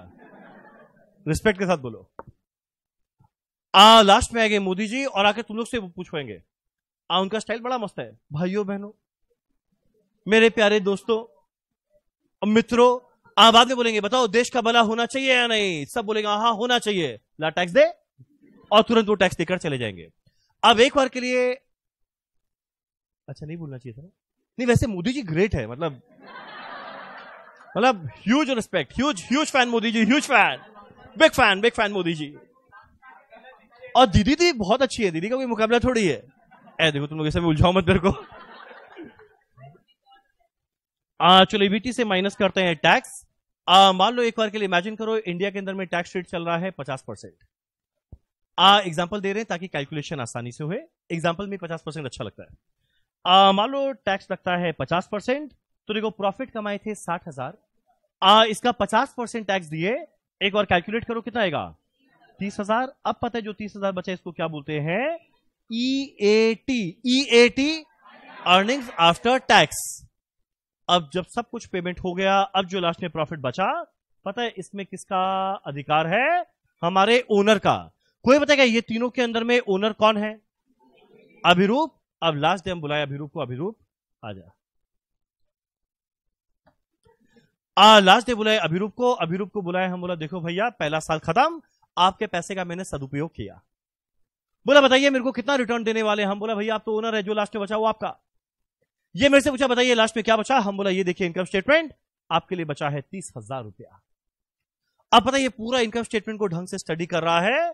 अब अगला दो चार मिनट ध्यान देना ढंग से स्टडी कर रहा है। बोला अच्छा आप मेरे को दे रहे हैं तीस हज़ार? हम बोला हाँ। बोला मेरे दोस्त यश को हम बोला चालीस हज़ार। अब ये मेरे को बोला, यश आपको कितना रुपया दिया? हम बोला चार लाख। आप इसको कितना देने वाले हैं? हम बोला चालीस हज़ार। बोले, पक्का? हम बोले, पक्का। बोले, आपको चार लाख दिया, आप चालीस हज़ार दे रहे हैं। हम बोले, यस। बोले, हम आपको कितना दिया? हम बोला, आपने मेरे को दिया छह लाख। कितना देने वाले हैं? हम बोला, तीस हज़ार। बोले कहाँ का इंसाफ हम बोला, अरे घबराओ मत, आप तो ओनर है ओनर बोले, भर देगा ओनर बाद में मेरे को चार गंदा गंदा गाली दिया। तुमको इसमें इंटरेस्ट है कौन सा? आ ये मेरे को चार गंदा गंदा गाली दिया। आ, मेरे को बहुत गंदा गंदा आवाज़ सुना है बोला, सुनो, तमीज से बात करो। बोला, भाड़ में गया तमीज? छह लाख रुपए लिए और खाली तीस हज़ार पकड़ा रहे हैं। उसे चार लाख लेके चालीस हज़ार दे दिए। वो ऐसा क्या लगता है आपका? हम बोला, नहीं, आप ओनर है। बोला, भाड़ में गया ओनर हम बोला, सुनो, जवान संभाल के बात करो। बोला, हम यही गाली देंगे, अगले साल आके और देंगे। हम बोला सुन तुम निकल यहाँ से अगले साल देखना हम क्या करने वाला है। बोला आपसे कुछ नहीं होगा। हम बोला अगले साल देखना। और तुम लोगों को पता है अगर कोई रंजन को सुनाकर चले जाए रंजन क्या करता है? क्या करता है? रो देता है। आ, रंजन को कोई सुना कर चले जाए तो भैया रंजन को अगर कोई चैलेंज कर दिया तो तुम लोगों को पता है रंजन के अंदर का वो जागता है। समझ में क्या जागता है? मतलब हम भी नहीं समझ पा रहे। वो कुछ तो जाता है। अब भैया, उद्देश्य जीवन का एक मात्र है, सुबह उठेंगे, पेन बनाएँगे। दोपहर में पेन बनाएँगे, शाम को पेन बनाएँगे, रात भर पेन बनाएँगे, सुबह से शाम पेन बनाएँगे। खाली हम पेन बनाएँगे और मेरा कोई उद्देश्य ही नहीं है। खाली मेरे को इसको गलत प्रूफ करना है। अब लगाना बुद्धि, मेरा इस चैप्टर का आखिरी लाइन तुम बोलेगा, आखिरी लाइन यस यर टू में रंजन को आया गुस्सा। यर टू रंजन गुस्सा। आ, रंजन को आया गुस्सा जो पहला साल इसने मुझे चार गाली दिया। अब हम डिसाइड किया भैया बहुत पेन बनाएँगे। पता है पहला साल बनाया था दस हज़ार पेन अगले साल सीधा बनाए हैं बीस हज़ार पेन सीधा पेन हो गया डबल सीधा पेन हो गया डबल अब तुम लोग क्या मेरे लिए इनकम स्टेटमेंट पूरा कर पाएगा? एक बात बताओ पेन हुआ डबल तो मेरा सेल वैल्यू भी हो जाएगा डबल सोचो ना, एक पेन को बेचे सौ में तो बीस हज़ार पेन कितना ही बिकेगा? बीस हज़ार इंटू सौ कितना आएगा? बीस लाख। अब हम शौर्य क्लास में बैठा हरिजन कैलकुलेशन शुरू कर दिया। बोलो, पता क्या सोच रहे पेन हुआ डबल सेल हुआ डबल प्रॉफिट भी डबल आ, तुम लोग यही सोच रहा है? आ यही सोच रहा है? आ pen double sale double profit double thirty thousand का डबल सिक्सटी थाउज़ेंड एक मिनट सोच रहा है? आ वो लड़का सोचा है। अरे तुम चुप रहो ना तुम सोचा है। एक सेकंड तुम लोग सही से बताओ मन में ये आया है? भाई किसी के तो आया होगा? कोई एक जन के? आया है। आ, तुमको आ, तो देखो आ, काफ़ी लोग सोचे हैं भाई पेन हुआ डबल सेल हुआ डबल आ तो मेरा प्रॉफिट भी होता है डबल अब तुम लोग का जो नादानी है उसको हम दूर करते हैं। एक बात बताते हैं प्रॉफिट डबल नहीं हुआ। क्या लगता है प्रॉफिट डबल हुआ या क्या हुआ? डबल से कम हुआ या डबल से ज़्यादा हुआ? आ, जरा देखिए एक बार कैलकुलेट करके क्या हुआ। एक और फटाफट कैलकुलेट करें कितना आने वाला है। क्या? ठीक है करने दो। आ, मेरा वेरिएबल कॉस्ट एक पेन का लगता है साठ एक का साठ एक का साठ एक का साठ एक का साठ। बीस हज़ार का क्या आने वाला है? बीस हज़ार इंटू साठ कितना आ जाएगा? बारह लाख। यानी पता मेरा कंट्रीब्यूशन कितना आने वाला है? आठ लाख।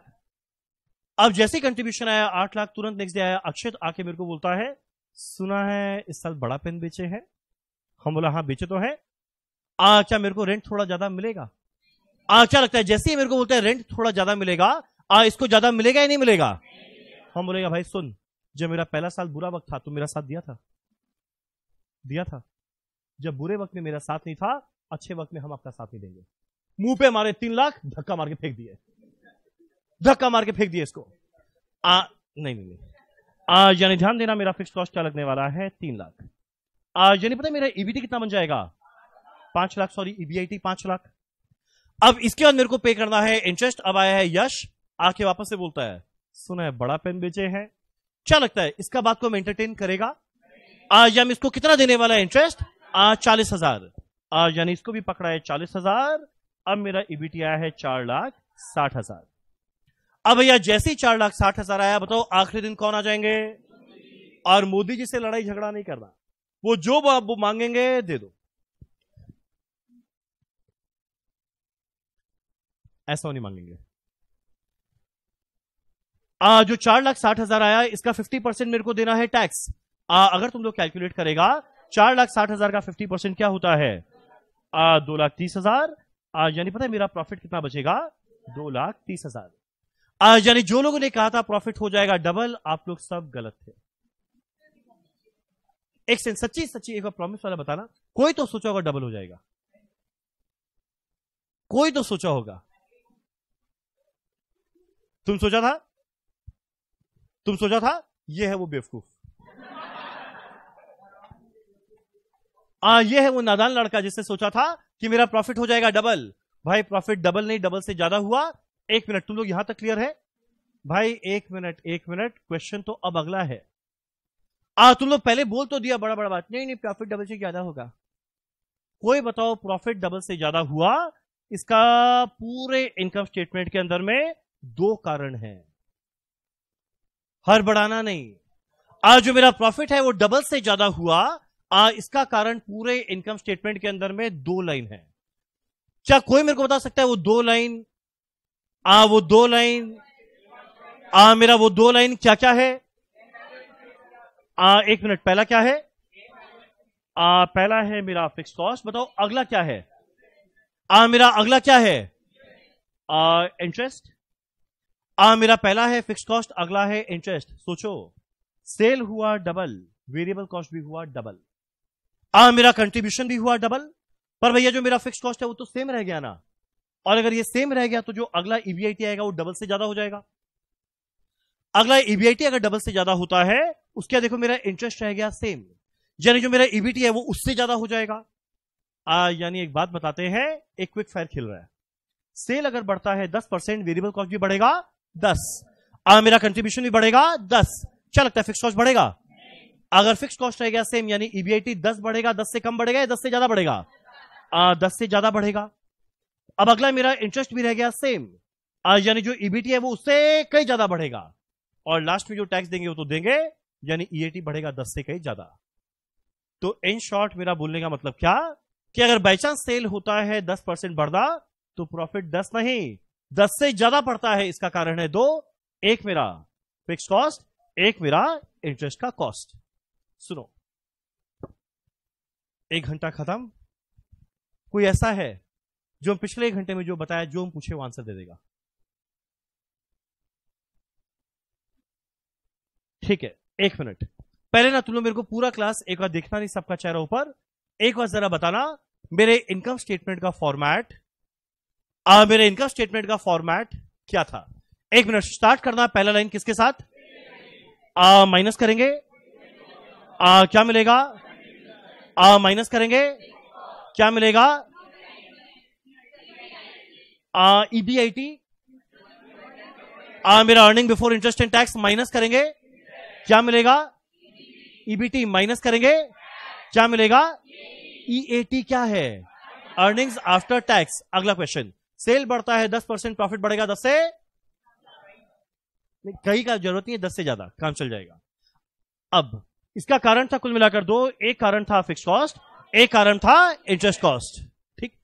ये क्या लिखा? एक सेकेंड एक है मेरा फिक्स कॉस्ट एक है मेरा इंटरेस्ट अब एक बात सुनो। पता है फिक्स कॉस्ट जो है आ, ये जो फिक्स कॉस्ट है इसको हम लोग बोलते हैं ऑपरेटिंग नेचर का। आ, तुम लोग का क्या कैश फ्लो स्टेटमेंट पढ़ना हो गया? सुना हुआ है कभी? आ इलेवन ट्वेल्व इलेवन ट्वेल्व याद है कैश फ्लो होता था तीन एक्टिविटी का? एक था ऑपरेटिंग एक था इन्वेस्टिंग और एक था फाइनेंसिंग पता है ये मेरा है ऑपरेटिंग नेचर का पता है ये है फाइनेंसिंग नेचर का. आ, ये मेरा ऑपरेटिंग नेचर का क्यों है? भैया डे टू डे ऑपरेशन करने के लिए मेरे को चाहिए होता है एक जगह. और जो भी जगह चाहिए होता है उसके लिए मेरे को फिक्स कॉस्ट देना पड़ा. तो ये जो मेरा फिक्स कॉस्ट है इसका नेचर क्या है? डे टू डे ऑपरेशन में लगने वाला ऑपरेटिंग नेचर का। और ये जो मेरा इंटरेस्ट है ये भी देखो मेरा फिक्स कॉस्ट था। आ, मेरा ये वाला फिक्स कॉस्ट क्यों आया? क्योंकि मेरे को कहीं से पैसा फाइनेंस करना था। किससे पैसा फाइनेंस करना है? डिवेंचर वाले से। तो फाइनेंस करने के लिए मेरे को देना पड़ गया कुछ फिक्स कॉस्ट तो ये जो फिक्स कॉस्ट लगा है वो फाइनेंस करने की वजह से लगा। इसीलिए फिक्स कॉस्ट का नेचर क्या है? फाइनेंशियल नेचर का। कौन सा? आ, ये वाला जो इंटरेस्ट कॉस्ट है ये मेरा है फाइनेंशियल नेचर का। तो ये हुआ ऑपरेटिंग नेचर ये हुआ फाइनेंशियल नेचर एक मिनट कौन यहाँ पर आना चाहेगा? आ, कई लोगों ने हाथ उठाया है पर मैं सबसे पहले इनवाइट करना चाहूँगा जो सबसे पीछे पीछे रहेगा आपको। आ फटाफट आइए और कोई इनको हेल्प मत करना। आज हम तीन लोग से क्वेश्चन पूछेगा।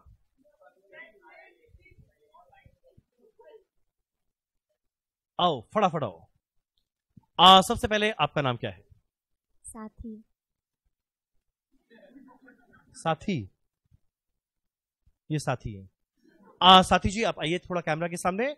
आ, सबसे पहले पूरे क्लास को बताओ फाइनेंशियल मैनेजमेंट का डेफिनेशन सर फाइनेंशियल मैनेजमेंट में हम लोग मैनेजेरियल डिसीजंस लेते हैं जिससे planning organising directing and controlling financial activities को करने के लिए फाइनेंशियल एक्टिविटी दो टाइप का होता है, एक प्रोक्योरमेंट ऑफ़ फंड्स और एक होता है utilisation of fund procurement of fund में भी दो टाइप होता है, एक लॉन्ग टर्म और एक शॉर्ट टर्म और एक यूटिलाइजेशन ऑफ़ फंड में भी लॉन्ग टर्म और शॉर्ट टर्म अब दोनों का दो दो ऑब्जेक्टिव होता है।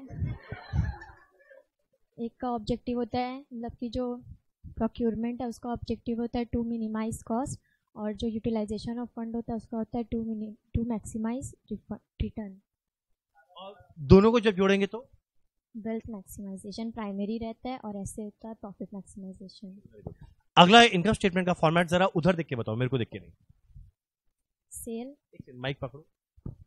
Sale less variable cost contribution आएगा फिर कंट्रीब्यूशन से less fix cost EBIT earning before interest and tax earning before interest and tax से लेस करेंगे इंटरेस्ट तो मेरा आएगा ईबीटी अर्निंग बिफोर टैक्स उससे हम लोग टैक्स लेस करेंगे तो आएगा अर्निंग आफ्टर टैक्स सेल बढ़ेगा दस परसेंट प्रॉफिट बढ़ेगा?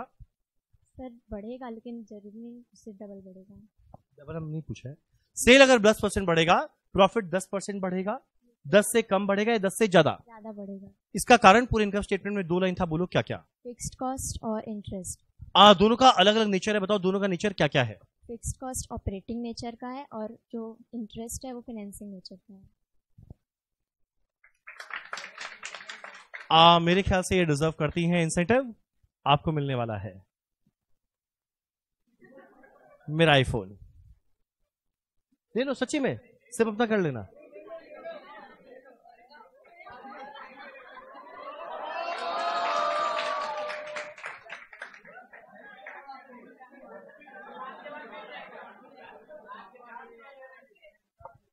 सुनो ना सुनो ना। वो एक्चुअली उसमें हम कुछ एक बार डेटा का बैकअप लेके तुमको दे देगा। आ, फ़िलहाल के लिए आपको कैश एक बार का दे देते सिक्योरिटी के तौर पे। आ, आपको मिलना चाहिए। आई थिंक एफएम का पहला है तो आई थिंक थाउज़ेंड से शुरू कर सकते हैं। आप इधर आओ। ये आधार कार्ड क्यों निकल आ, इनको मिलता है वन थाउज़ेंड लीजिए आ एक बात बताओ सही से बताओ तुम लोग यहाँ पे बैठे हुए कितने लोगों को सारा आंसर याद था? वेरी गुड ऐसे याद रखना। चलो। आ पचास तो दे दीजिए। आ चलो एक, एकदम सच बता रहे हैं। हम एकदम हर क्लास में तुमको हज़ार रुपए देगा। आ मिनिमम हज़ार। मिनिमम हज़ार। आ मेरा तुम लोग के बैच के लिए टारगेट अलग रखा हुआ है। मेरे को पाँच छह लाख रुपया खर्चा करना तुम लोग के बैच में। ठीक सुनो। आप अब एक बात सुनो। फटाफट एक बात सुनो। आ, दो हज़ार का नोट चलेगा? दो हज़ार का नोट दे चलेगा? चलेगा? पक्का? तो कल दो हज़ार का नोट लेके आएँगे। चलो एक काम करते हैं आपसे जो भी इंसेंटिव आएगा सब आएगा दो हज़ार के नोट का। पाँच सौ पाँच सौ का नहीं देंगे चार दो हज़ार का एक नोट देंगे। चलेगा? ठीक। पर हम लोग ये वाला इंसेंटिव स्टार्ट करेंगे ट्वेंटी नाइन सेप्टेम्बर से। चलो। आ मेरा अगला बात सुनो देखो। अब सुनो एक बात सुनो एक बात सुनो एक बात सुनो बहुत सुंदर बात। पता है आ, जब सेल बढ़ता है दस परसेंट मेरा प्रॉफिट बढ़ता है दस कारण क्या है? सेल बढ़ा दस वेरिएबल बढ़ा दस कंट्रीब्यूशन बढ़ा दस पर भाई, ये दोनों मेरा सेम रह गया। इसलिए प्रॉफिट बढ़ा दस से ज़्यादा। अब ये लाइन सुनो। अगर ये चीज़ बढ़ने के लिए अप्लाई करता है, अगर ये चीज़ बढ़ने के लिए अप्लाई करता है तो पता ये सेम चीज़ गिरने के लिए भी अप्लाई करता है। अगर ये चीज़ बढ़ने के लिए अप्लाई करता है तो ध्यान देना ये सेम चीज़ गिरने के लिए भी अप्लाई करता है। मतलब क्या? अगर मान लो सेल कम होगा दस परसेंट तो वेरिएबल कॉस्ट भी कम होगा दस। कंट्रीब्यूशन भी कम होगा दस। क्या लगता है मेरा फिक्स कॉस्ट कम रहेगा सेम रह जाएगा? यानी मेरा ईबीटी दस से ज़्यादा कम हो जाएगा। अब मेरा इंटरेस्ट भी रह जाएगा सेम यानी ईबीटी उससे ज़्यादा कम हो जाएगा। यानी ध्यान देना, ये दो गजब का चीज़ है। मेरा ये दोनों फिक्स कॉस्ट गजब का चीज़ है, जब अच्छा वक्त आता है, ये बहुत मस्त चीज़ है। पर वही अगर बुरा वक्त आता है तो इन दोनों से खतरनाक कोई चीज़ ही नहीं है। अब इमेजिन करो, लगातार मेरा सेल बढ़े जा रहा है, बढ़े जा रहा है, पर दो खर्चा ऐसा जो सेम रहता है, कितना अच्छा लगेगा। पर वही मान लो, जब मेरा सेल गिरे जा रहा है, गिरे जा रहा है पर वो दो खर्चा है जो सेम रहता है कितना बुरा लगेगा। तो यानी जो चीज़ रिटर्न क्रिएट करता है वही चीज़ रिस्क क्रिएट करता है। आ, तो वे काम करते हैं ये पूरे चैप्टर में हम लोग करना क्या हम लोग सब पढ़ लिए। दो तरह का रिस्क आया एक आया ये ऑपरेटिंग वाला एक आया फाइनेंशियल वाला इसके बारे में लिखते हैं दो शब्द और फटाफट खत्म करते हैं। एक बार तुम लोग अभी तक समझ में हम क्या बोला? अरे बोलो ना। पर हम एक चीज़ ऑब्ज़र्व किया है गर्ल्स ज़्यादा एक्टिव है इस क्लास में। बॉयज़ को मोटिवेशन नहीं है। एक मिनट अभी जब मौका दिया हाथ उठाने का कौन हाथ उठाया लड़का लोग?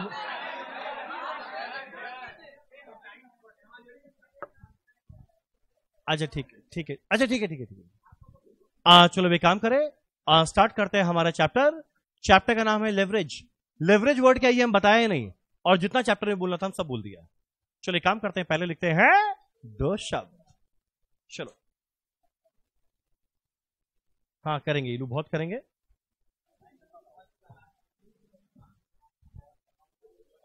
होगा होगा बहुत जल्द होगा। आ, चलो एक काम करते हैं पहला लिखते हैं द टर्म लेवरेज भाई ये वर्ड लेवरेज क्या था ये हम बताया नहीं अब हम बताने जा रहे हैं वर्ड होता क्या है? The term leverage uh, is derived from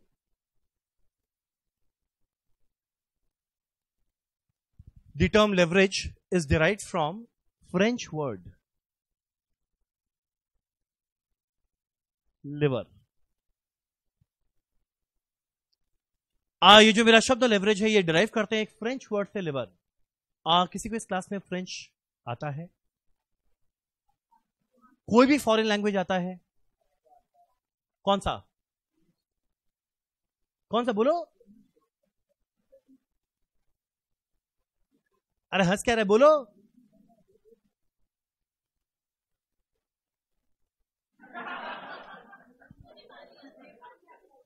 क्या आता है? नेपाली। एक सेकंड, तुम तुम लोग क्लास में क्या आता है? इधर इंग्लिश आ, या हिंदी। या मारवाड़ी। या बंगाली। या गुजराती। और बाहर को कोई लैंग्वेज नहीं आता। इस क्लास में एक ऐसा जन है जिसको 28 लैंग्वेज आता है।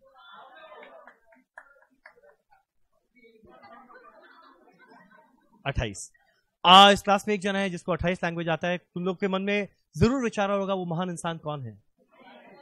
आ, वो महान इंसान आ, वो महान इंसान आप लोग के सामने खड़े हैं। कौन? मतलब रंजन और कौन? आ फ्रेंच मेरे को पूरा आता है। अच्छा अगर हम बोल दे तुम लोग कौन सा समझेगा? मेरे साथ वो सब गेम मत खेलो तुम लोग। पहले समझ के आओ फिर मेरे से बात करना फ्रेंच में हम जिस देश में जाते हैं वहाँ पे उन लोग की भाषा में बात करता है वो लोग पगला जाता है वो लोग बेहोश हो जाता है। सर मेरे को अरेबिक आता है। अरे वाह क्या बात है देखो। आ, ये जो वर्ड लिवरेज है ना ये ड्राइव हुआ एक फ्रेंच वर्ड लिवर से और ये जो वर्ड लिवर है ना ये तुम लोग का ये तुम लोग का आ, फिजिक्स में पढ़ा हुआ है क्लास सेवन एट में। याद आ गया? आ लिवर फिजिक्स में पढ़ा हुआ है क्लास सेवन एट में। आ बताओ लिवर का मतलब क्या?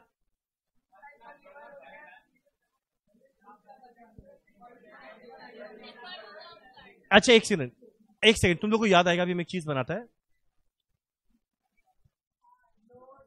बताओ ये मैं क्या बनाया? ये हम सीसो बनाया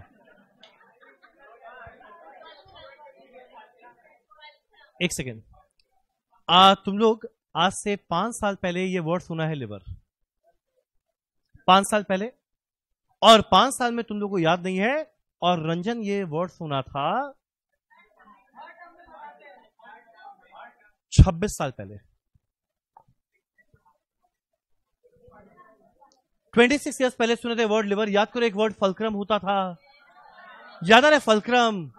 आ लिवर आ, एक बहुत भारी सामान था। आ, जो आराम से हम लोग लिफ्ट या शिफ्ट करते थे। छोड़ो इग्नोर करो। आ लिवर क्या एक ऐसा टूल आ, जिसके द्वारा एक बहुत ही भारी ऑब्जेक्ट को हम लोग आराम से लिफ्ट या शिफ्ट कर सकते हैं। एक बहुत ही भारी ऑब्जेक्ट को हम लोग आराम से लिफ्ट या शिफ्ट कर सकते हैं। इसे हम लोग क्या कहते हैं? लिवर। ठीक? तुम लोग शायद भूल गए सब कुछ? मेरे को याद दिलाना पड़ेगा। शेम ऑन यू गाइस तुम लोग क्ला, क्लास टेन पास कैसे हुआ? ओ अच्छा नहीं समझ गया। कोविड बैच था ना? कोविड बैच था तुम लोग का।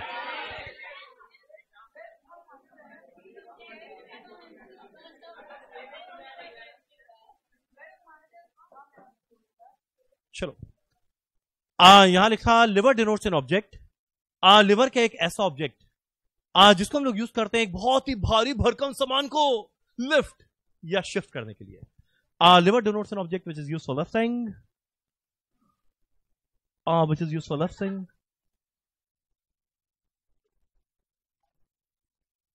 एक second uh, which is used for lifting और शिफ्टिंग लिफ्ट करो या शिफ्ट करो।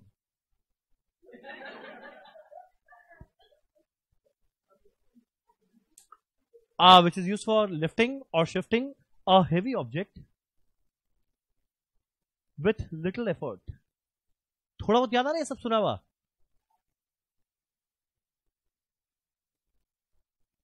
याद होता तो साइंस ले लिए तो बात सुन साइंस ले लिए होते हाँ।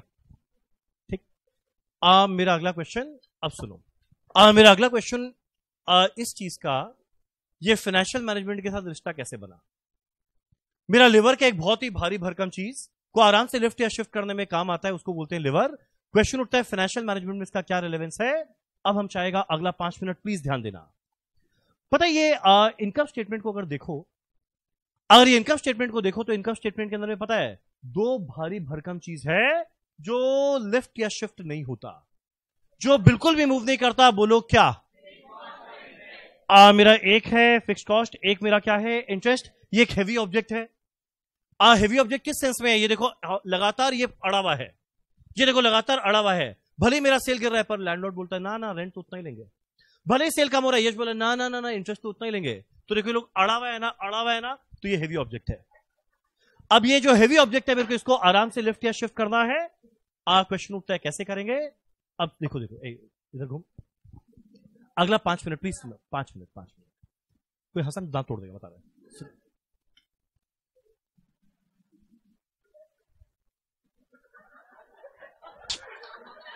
एक फ्लो नहीं बनने देता ना तुम लोग। एक फ्लो बना रहे हैं ठीक है ना? पता है कंपनी के अंदर में आ, तुम लोग बताओ एक कंपनी के अंदर में आ, तीन लोगों ने हिस्सा लिया। एक था अभिरूप एक था यश एक था अक्षित। पर बताओ ये तीन लोग के अंदर में इस कंपनी के अंदर में रिस्क खाली एक जन ने लिया। आप बताओ ये तीनों के अंदर में रिस्क किसका था? आ, ध्यान दो आ, ये कौन है? यश इसका कोई रिस्क नहीं था। आ लॉस आए या प्रॉफिट आए इसको तो चालीस हज़ार मिलेगा। हमारे अक्षित का कोई रिस्क नहीं था। लॉस आए या प्रॉफिट आए इसको तो तीन लाख रुपया मिलेगा। यानी एकमात्र इंसान जिसने सही में रिस्क लिया है इस कंपनी में इन्वेस्ट करके वो कौन है? अभिरूप। अभी धूप क्यों लिखा है?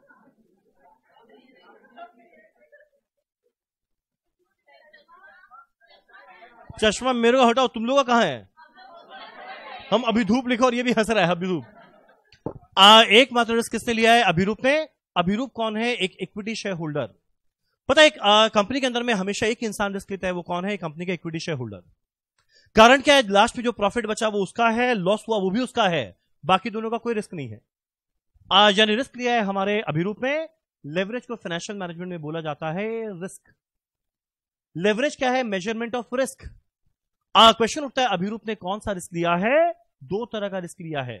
एक ये वाला रिस्क लिया है ऑपरेटिंग एक ये वाला रिस्क लिया है फाइनेंशियल अब ना अगला पाँच मिनट बहुत अच्छा बात हम बोलने वाले सुनना।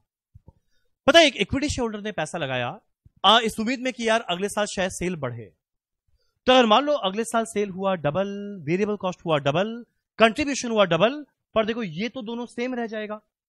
और अगर ये सेम रह जाएगा मतलब प्रॉफिट डबल से ज़्यादा हो जाएगा तो बताए अच्छे वक्त में इक्विटी शेयर होल्डर को ये दोनों से प्यार हो जाएगा। कि भैया मेरा इनकम बढ़े जा रहा है, बढ़े जा रहा है, बढ़े जा रहा है, पर ये दोनों एक्स्ट्रा रुपया नहीं मांग रहा है। इसको कितना अच्छा लगेगा? सोचो मेरा इनकम बढ़ जाए और कोई बोले एक्स्ट्रा पैसा दे।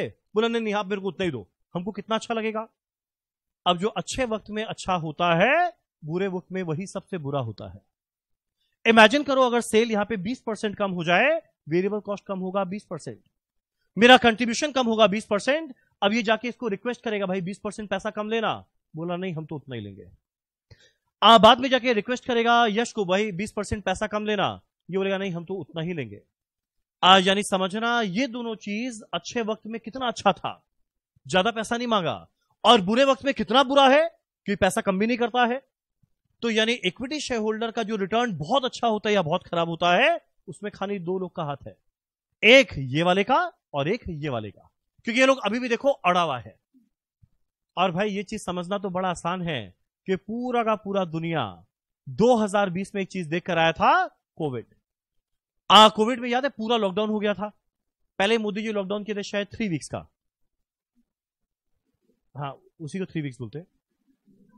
आ, पहले ट्वेंटी वन डेज़ का लॉकडाउन किया बाद में शायद थोड़ा और बढ़ाए शायद थोड़ा और बढ़ाए और उस समय सारा बिज़नेस बंद हो गया। अब पता है हर एक बिज़नेस सफ़र किया पर मेन वो बिज़नेस सफ़र किया जिसमें फिक्स कॉस्ट था। कारण क्या बिज़नेस बंद हुआ हुआ है पर भाई मेरे को फिक्स कॉस्ट देना पड़े जा रहा है। तो सेल कुछ हो नहीं रहा है पर मेरे को फिक्स कॉस्ट देना पड़ रहा है कितना चुभ रहा था? अपना लाइफ को हम बताते हैं। 2012 में मेरा वो हुआ। शादी है ठीक? टू थाउज़ेंड थर्टीन में हम जॉब छोड़कर आए कैलकाटा में पढ़ाने के लिए, जो मेरा लास्ट सैलरी ड्रॉन था जॉब में, वो था 48 lakh rupees per annum 48 lakh rupees का मेरा सैलरी था, वो हम 2013 का बात चल रहा है, वो मुझसे में त्यागे और आए पढ़ाने के लिए. आज जब आए पढ़ाने के लिए तो मेरे को ध्यान है, पहला टर्म में हम कॉस्ट पढ़ाया एफएम पढ़ाया लॉ पढ़ाया ऑडिट पढ़ाया. और ये चारों सब्जेक्ट का मिलाकर हम फ़ीस लिया था तीन हज़ार पाँच सौ रुपया. चारों का मिलाकर लिया था तीन हज़ार पाँच सौ रुपया और पता है पहला टर्म में कितने स्टूडेंट आए थे? छह। अगर तुम लोग कैलकुलेट करेगा, हर एक स्टूडेंट देता है पैंतीस सौ। और आए हैं छह स्टूडेंट तो कैलकुलेट करके देखना, बड़ा शगुन का इक्कीस हज़ार रुपया मिला था।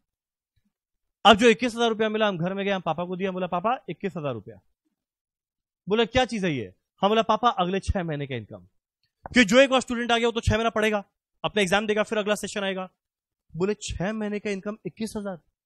हम बोला हाँ। बोला, भाई, वहाँ तेरा छह महीने का इनकम चौबीस लाख होता था। अभी इक्कीस हज़ार। हम बोला हाँ। बोला, तुम मारवाड़ी नहीं है। तुम हॉस्पिटल में बदल गया है। हम बोला, पापा चल अभी थोड़ा बुरा वक्त है। अच्छा वक्त अच्छा आएगा। बोला, ना ना, तेरे से नहीं होगा। हम बोला, पापा चल अब ट्वेंटी वन थाउज़ेंड जो आया, सो आया। झमेला पता है क्या हुआ? उस महीने के एंड में हमारा लैंडलॉर्ड आया। बोलता, भाई रेंट दो। लैंडलॉर्ड आया। हम हम बोला भैया आप अंदर आओ अंदर आओ अंदर आओ। हमारा देखो, गिनो, कितने बच्चे एक बार आके गिनो। अब आके गिना, एक, दो, तीन, चार, पाँच, छह। हमारा देखो छह बच्चे लोग हैं, पैंतीस सौ रुपया दिए, खाली इक्कीस हज़ार मिला है। अब इक्कीस हज़ार में अगर आप रेंट ले लोगे, बताओ मेरे को क्या बचेगा? मैं क्या खाऊँगा? कुछ नहीं बचेगा मेरे पास, आप लोगे? बोला हाँ मैं लूँगा। वो मेरे को छोड़ा नहीं। वो बोला, नहीं, हम लेंगे। अब वो बोला, हम लेंगे तो हमको देना पड़ गया। हमको पंद्रह हज़ार रुपया पर मंथ जो रेंट उस समय बात था आ वो देना पड़ गया। अब इमेजिन करो जो रेंट मेरे को कितना बुरा लग रहा होगा। एक बार मेरे भी पॉइंट से सोचो, तुम लोग शायद समझ नहीं पा रहे तुम लोग बड़े बड़े घर से आए हैं। तुम लोग बड़ा बड़ा खाना पीना किया है। पर एक बार मेरे भी पॉइंट से सोचो। ट्वेंटी वन थाउज़ेंड रुपीज़ छह महीने का। उस समय जो रेंट मांगने आता था, हर महीना कितना बुरा लगता था। पर हम बात बताते हैं, अगला सेशन में हुआ पचास स्टूडेंट छह से हुआ पचास, पर रेंट अभी भी उतना लग रहा है। तो पता है, उस समय रेंट देना थोड़ा कम चुभ रहा था।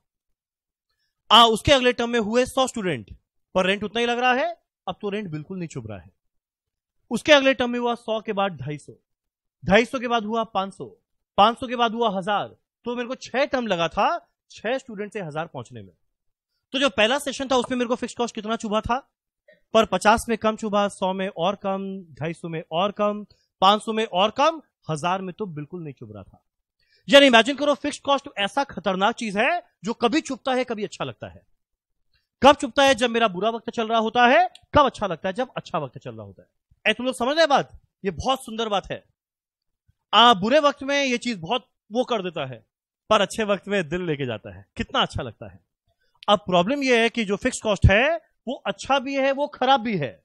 अच्छे वक्त में अच्छा है, बुरे वक्त में बुरा है। अब क्वेश्चन उठता है प्रॉब्लम यह है कि हम लोग हैं कॉमर्स में। और कॉमर्स के अंदर में ना तुम लोग पहला दिन एक चीज़ पढ़ाया जाता है principle of conservatism principle of conservatism या प्रूडेंस को क्या बोलता है? जो बुरा होने वाला है, हम लोग के साथ होने वाला है। अच्छे के लिए तो पैदा हुए नहीं है। सारा खराब हमारे साथ होने वाला है। यानी भाई, ये कोई फाइनेंशियल मैनेजमेंट में नहीं पढ़ाता कि ये फिक्स कॉस्ट अच्छा भी है। सबको ये पढ़ाता है, भाई फिक्स कॉस्ट खराब है, क्योंकि वो लोग कंजर्वेटिव होकर सोचते हैं कि बुरा होने वाला है। अगर अच्छा वक्त में बात करें तो इससे बढ़िया चीज़ ही नहीं है। पर अच्छाई को तो हम लोग देखते ही है, नहीं है। दुनिया का नियम है सब कोई बुराई को देखता है। दुनिया का नियम है सब कोई बुराई को देखता है और जब बुराई को देखते हैं तो ये चुपता है ना। तो इसीलिए पता है इन दोनों को क्या बोला जाता है? सबसे बड़ा रिस्क है किसके लिए? इक्विटी शेयर होल्डर के लिए। आ, इस रिस्क का नाम क्या है? Operating risk. कोई बताएगा ये वाले रिस्क का नाम क्या होगा? Financial risk. यानी इक्विटी शेयर होल्डर दो तरह का रिस्क लिया एक ऑपरेटिंग एक लिया है financial.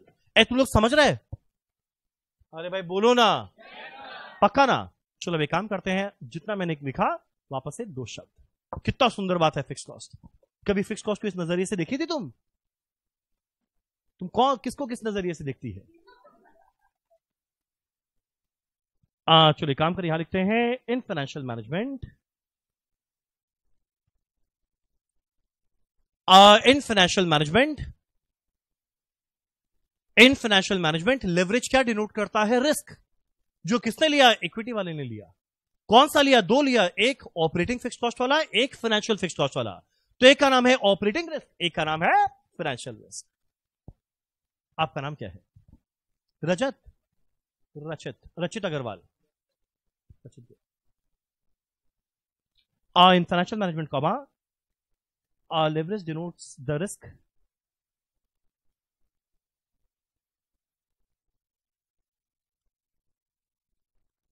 undertaken by equity shareholder.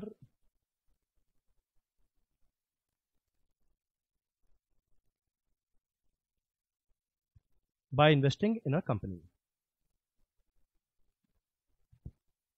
आ, मेरा लेवरेज क्या चीज़ को डिनोट करता है? रिस्क को डिनोट करता है जो एक इक्विटी शेयर होल्डर लेगा। क्यों? क्योंकि कंपनी में इन्वेस्ट किया। अब सेल के कम होने पे हर चीज़ कम हो जाता था। बेचारे मोदी जी भी कम टैक्स देते थे। पर ये दोनों अड़ावा था। ये दोनों बोला हम उतना ही लेगा। तो ये दोनों तो रिस्क है। तो मेरा रिस्क है दो तरीका का। पहला है point number one operating risk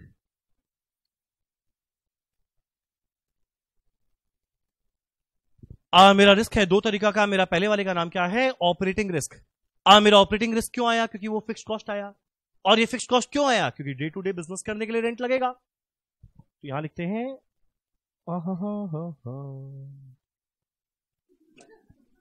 operating risk में डाल के लिखा हाँ सही में। एक सेकंड वो बोलना क्या है? अच्छा ऑपरेटिंग रिस्क हाँ।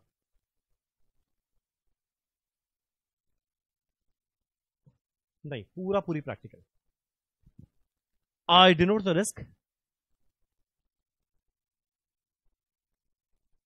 are which arise due to operating fixed cost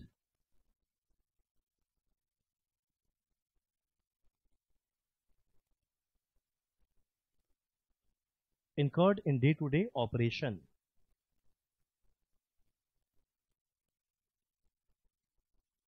Example हो गया रेंट आ या हो गया इंश्योरेंस आ या हो गया सैलरी ऑफ़ परमानेंट स्टाफ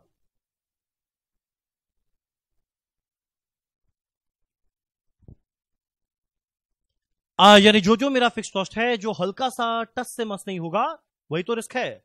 कब अगर बाई चांस सेल कम हो गया तो? ये लोग तो उतना ही रुपया मांगेगा। क्वेश्चन उठता है इस ऑपरेटिंग रिस्क को मेजर कौन करने कर, करता है? डॉल कोई एक बार गेस करेगा डॉल का फुल फॉर्म क्या? आपका नाम क्या है? शिवम अग्रवाल. डॉल का फुल फॉर्म है डिग्री ऑफ़ ऑपरेटिंग लेवरेज यानी ऑपरेटिंग रिस्क को कौन मेजर करता है? ऑपरेटिंग लेवरेज मेरा क्वेश्चन उठता है ऑपरेटिंग लेवरेज का फॉर्मूला क्या है? बहुत ही मासूम फॉर्मूला है। अब देखो दो तरीका है। एक हम पहले फॉर्मूला सिंपल बता दे। एक इसका पूरा डेरिवेशन बताए। आ, तुम लोगों को किसमें इंटरेस्ट है? आ, पहले सिंपल बताए, फिर डेरिवेशन दोनों में इंटरेस्ट है। तो एक काम करते हैं, पहले सिंपल तरीका से बताते हैं। अब देखो ये मेरा ऑपरेटिंग और फॉर्मूला मेरे को बताना नहीं तुम लोग खुद बताएगा। पता है मेरा ऑपरेटिंग रिस्क क्यों आया? क्योंकि ऑपरेटिंग फिक्स कॉस्ट था। अब ये ऑपरेटिंग फिक्स कॉस्ट की वजह से जो रिस्क आया, वही है मेरा ऑपरेटिंग लेवरेज इसको कैलकुलेट करने का फॉर्मूला है आ, देखो ये फिक्स कॉस्ट के पहले क्या आता था? कंट्रीब्यूशन पर ये फिक्स कॉस्ट के बाद क्या हो गया? ईबीआईटी e यानी फिक्स कॉस्ट को कितना ईबीआईटी e में कन्वर्ट कर दिया वही तो रिस्क है। पता है इसका फॉर्मूला क्या है? Contribution divided by EBIT contribution divided by EBIT अगर तुम लोग कैलकुलेट करो ये पता कितना आएगा? चार लाख. डिवाइडेड बाय एक लाख.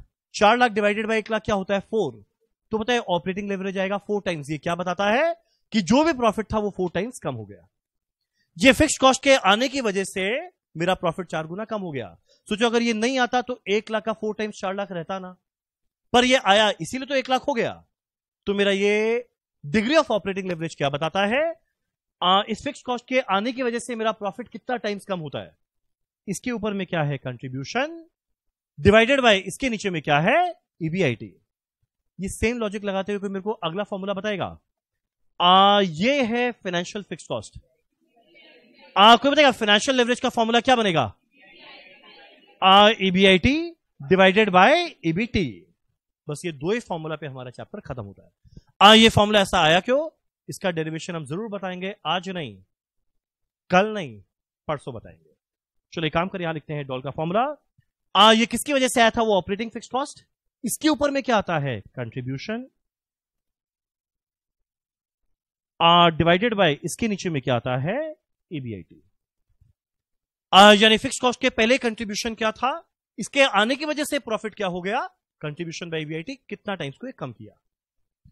आ, अगला लिखते हैं point number two financial risk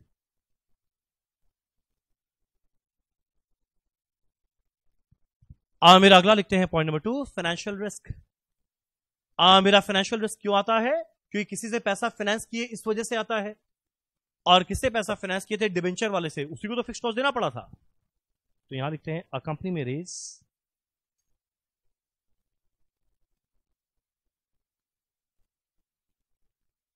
long term fund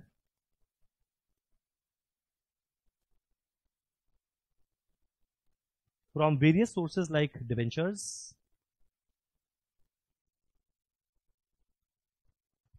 Our company may raise our long-term fund from various sources like debentures, uh, resulting in interest cost. आ, यानी जैसे इनकम स्टेटमेंट में फिक्स कॉस्ट आता है वो रिस्क लाता है आ, मेरा पहला था डे टू डे ऑपरेशन वाला ये हुआ फाइनेंशियल वाला इसको मेजर कौन करता है डीएफएल कोई बताएगा DFL degree of financial leverage ये किस वजह से आया था? ये फाइनेंशियल कॉस्ट की वजह से आया था? तो फॉर्मूला क्या बनेगा? इसके ऊपर में ईबीआईटी इसकी वजह से क्या बन गया? ईबीटी तो मेरा फॉर्मूला क्या आएगा? ईबीआईटी डिवाइडेड बाय ईबीटी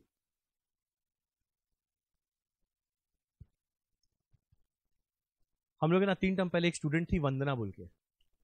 जब मैं फॉर्मूला लिखा था ईबीआईटी बाई ईबीटी उसका अगला क्वेश्चन था, सर ईबी ईबीटी तो कट जाएगा ना? तो ऐसा खतरनाक मैथ्स इस क्लास में किसी का नहीं है ना? चलो एनीवेज ये था मेरा ईवीआईटी बाई ईबीटी बस लास्ट में लिखते हैं एक वर्ड डीसीएल आप पता है डीसीएल का फुल फॉर्म क्या होता है? डिग्री ऑफ़ कंबाइंड लेवरेज यानी एक है खाली ऑपरेटिंग एक है खाली फाइनेंशियल दोनों को जोड़ देंगे, क्या मिलेगा? कंबाइंड लेवरेज इसका फॉर्मूला थोड़ा सा ना मैथ्स लगाना। इसका फॉर्मूला होता है डॉल इंटू डीएफएल। कोई एक बार डॉल इंटू डीएफएल को एक साथ में मल्टीप्लाई करके मेरे को फॉर्मूला बता पाएगा? डॉल क्या है कंट्रीब्यूशन बाय ईबीआईटी मेरा डीएफएल क्या है ईबीआईटी बाय ईबीटी यानी डीसीएल क्या कंट्रीब्यूशन डिवाइडेड बाय ईबीटी समझा नहीं दोनों कट गया। क्या आएगा कंट्रीब्यूशन बाय ईबीटी ठीक? और ये सारे के सारे लेवरेज को हम लोग रुपीज़ में नहीं बोलते। आ, कैसे एक्सप्रेस करते हैं? टाइम्स में। क्योंकि रुपया रुपया कट गया कुछ नहीं बचा। All leverages are expressed in times मेरा all leverages are expressed in times ठीक है यहाँ तक?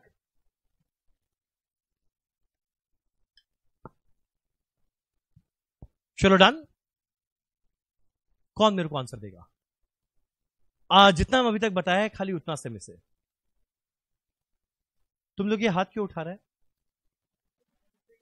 मतलब तुम लोग का एक्सपेक्टेशन है कुछ? आ, एक मिनट तुम लोग से ज़रूर पूछेगा। उस समय मैं गर्ल से पूछे था पूछेंगे किसी बॉय से। ठीक? आ रुको पर एक मिनट बाद। पहले यहाँ तक लिख लिया। आ सुनो ना एक और सबका चेहरा ऊपर। आपको एक मेरे को बिना देखे मेरे को सबसे पहले इनकम स्टेटमेंट का फॉर्मेट आ, पहला लाइन से शुरू करते हुए लास्ट लाइन तक बताना क्या होगा। आप बताओ पहला लाइन क्या आएगा? आ, माइनस करेंगे। क्या मिलेगा? माइनस करेंगे। क्या मिलेगा? माइनस करेंगे। क्या मिलेगा? माइनस करेंगे। क्या मिलेगा? आ, अगर बाई चांस सेल बढ़ता है दस परसेंट प्रॉफिट बढ़ेगा। आ, सेल गिरता है पाँच परसेंट प्रॉफिट गिरेगा। पाँच से ज़्यादा। आ, इसका कारण है कुल मिला के इनकम स्टेटमेंट में दो लाइन बोलो क्या क्या एक है फिक्स कॉस्ट एक है इंटरेस्ट कोई बताएगा इन दोनों का नेचर क्या क्या था? आ, ये मेरा है ऑपरेटिंग नेचर का ये है मेरा फाइनेंशियल नेचर का। आ, ये जो ऑपरेटिंग फिक्स कॉस्ट है ये क्रिएट करता है ऑपरेटिंग रिस्क आ, इसको मेजर करता है डॉल आ, ये फाइनेंशियल कॉस्ट क्रिएट करता है फाइनेंशियल रिस्क इसको मेजर करता है डीएफएल कोई बिना पेज पलटाए मेरे को डॉल का फॉर्मूला बताएगा? आ, इसके ऊपर में है कंट्रीब्यूशन डिवाइडेड बाय ईबीआईटी कोई मेरे को डीएफएल का फॉर्मूला बताएगा? ईबीआईटी डिवाइडेड बाय ईबीटी और जैसे ही दोनों का कंबाइन करेंगे फॉर्मूला क्या बनने वाला है? कंट्रीब्यूशन डिवाइडेड बाय ईबीटी बताओ इसको कैसे एक्सप्रेस करेंगे? परसेंटेज में रुपीज़ में घाड़ी हाथी घोड़ा किसमें टाइम्स में। डन आ ये काम करना फटाफट एक छोटा सा इलस्ट्रेशन करना नंबर्स कैलकुलेट करना। आ जो इलस्ट्रेशन है वो आपकी बुक में है। पेज नंबर मुझे नहीं पता क्वेश्चन नंबर वन वन करने में एक मिनट थ्री करने में एक मिनट आज का टारगेट बारह पचास. देखो कॉस्ट का ना कोई भी क्वेश्चन करते थे उसमें टाइम लगता था. एफएम का जनरली कोई भी क्वेश्चन आएगा, उसमें टाइम नहीं लगता. बहुत ही फटाफट होता है. इनकम स्टेटमेंट बनाएँगे, तीन लेवरेज निकालेंगे. सुनो ना, एक बार पेज नंबर बताओ ना. Page number are you sure please एक बार आना पेज 42 क्वेश्चन नंबर वन हमारा आज का पहला तुम लोग एक बार इस बुक का डिज़ाइन देखो ना। आ, यहाँ पे पेज नंबर लिखने का तुम लोग को जगह दिया गया कॉपी का पेज नंबर लिखो। क्लास का डेट क्वेश्चन उठता है R one R two R three क्या है? रिविजन वन का डेट रिविजन टू का डेट रिविजन थ्री का डेट ये हमेशा ब्लैक रहेगा। सही से बताओ। ये बुक का डिज़ाइन कैसा लगा? मैंने रात भर जग कर दिया जलाकर ये डिज़ाइन बनाया था। चलो। और नीचे देखो लर्निंग ऑब्जेक्टिव इस सब में आप क्या सीखते हैं?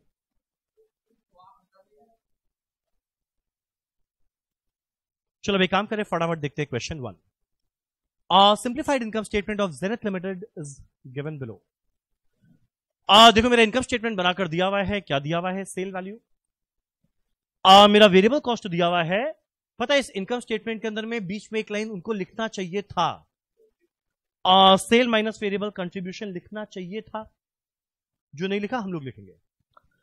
माइनस करेंगे फिक्स कॉस्ट मिलेगा ईबीआईटी माइनस करेंगे इंटरेस्ट पता है एक वर्ड लिखना चाहिए था।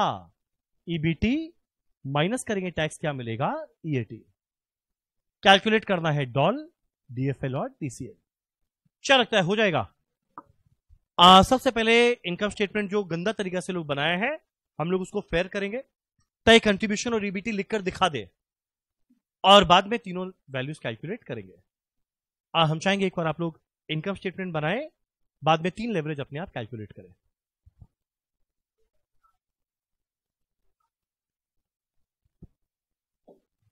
तो देखो कंट्रीब्यूशन का वैल्यू तुम निकालेगा कैसे? नहीं मेंटल मैथ्स नहीं एग्ज़ाम में कोई भी कैलकुलेशन करो ना, भले कंट्रीब्यूशन कैसा है नीचे नोट में दिखा दो, कि 10 50 माइनस सेवन सिक्सटी सेवन वो भी चलेगा। हाँ हाँ कुछ भी चलेगा आइधर इनकम स्टेटमेंट दिखा दो, पूरा बनाकर या जो कंट्रीब्यूशन और ईबीटी जो आता है ना, वो कैसा है, वो नीचे नोट में दिखा दो। तुम लोग क्या कर इनकम स्टेटमेंट बना रहे कि नहीं बना रहे बना रहे शिवम ने कहा, बनाइए, शिवम, आपकी बातों को मैं सर आँखों पे रखता हूँ।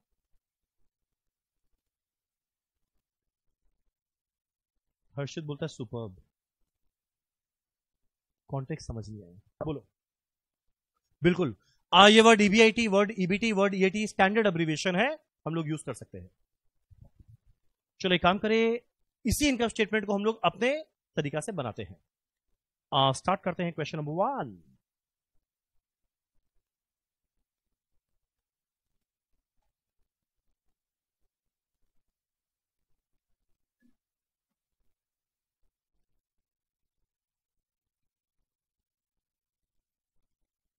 स्टार्ट करेंगे सेल वैल्यू के साथ। क्वेश्चन में सेल वैल्यू कितना दिया हुआ है? दस पचास।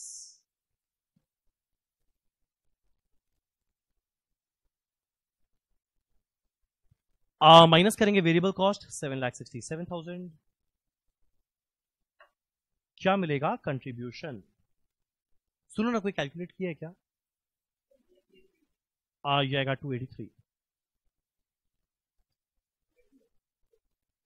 बस आखिरी क्वेश्चन थ्री वन हो गया? इनकम स्टेटमेंट नहीं बनाया था ना? मतलब हम बना रहे इसलिए हमको टाइम लग रहा है। आ, मेरा फिक्स कॉस्ट है सेवेंटी फाइव थाउज़ेंड चलो माइनस करते हैं फिक्स कॉस्ट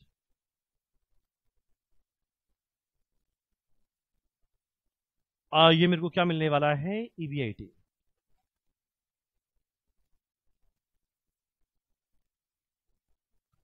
ईबीआईटी से हम लोग माइनस करने वाले हैं इंटरेस्ट जरा देखो इंटरेस्ट का वैल्यू कितना दिया हुआ है? एक लाख दस। यानी मेरे को मिलने वाला है ईबीटी कितना आने वाला है? Ninety eight thousand. माइनस करेंगे टैक्स अब इवन दो क्वेश्चन में टैक्स का अमाउंट दिया हुआ है, अगर नहीं भी दिया रहता, हम लोग कैलकुलेट कर लेते हैं कि क्वेश्चन में टैक्स का रेट दिया हुआ है तीस परसेंट। और टैक्स हम लोग हमेशा किस पे कैलकुलेट करते हैं? जो लास्ट में प्रॉफिट बच जाए। लास्ट में प्रॉफिट क्या बचा था? ये, इसका तीस परसेंट निकालना एग्जैक्ट वही वैल्यू आएगा। आ, कितना निकाला हुआ था? ट्वेंटी नाइन फोर हंड्रेड तो मेरा ई e पता कितना आ जाएगा?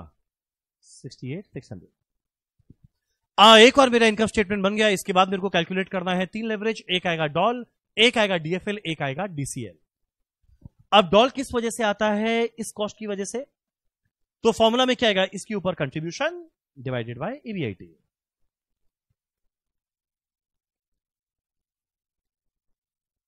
हाँ दो डेसिमल दो डेसिमल कंट्रीब्यूशन है 283 divided by two lakh eight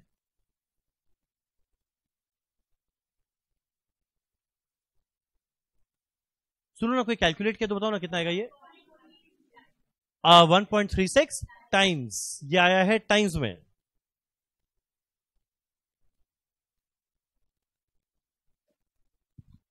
आ, मेरा अगला है डीएफएल आ, ये डीएफएल किस वजह से आता है? इस इंटरेस्ट की वजह से. तो डीएफएल का फॉर्मूला क्या बनेगा? इसके पहले देखो प्रॉफिट था ईबीआईटी पर भाई, इसकी वजह से ये ईबीटी बन गया। तो ये मेरे प्रॉफिट को कितना टाइम्स कम किया? ईबीआईटी बाय ईबीटी तो फॉर्मूला लिखते हैं ईबीआईटी डिवाइडेड बाय ईबीटी ये आएगा दो लाख आठ हज़ार डिवाइडेड बाई ईबीटी कितना है? Ninety eight thousand. कितना बोला? ये आएगा two point one two times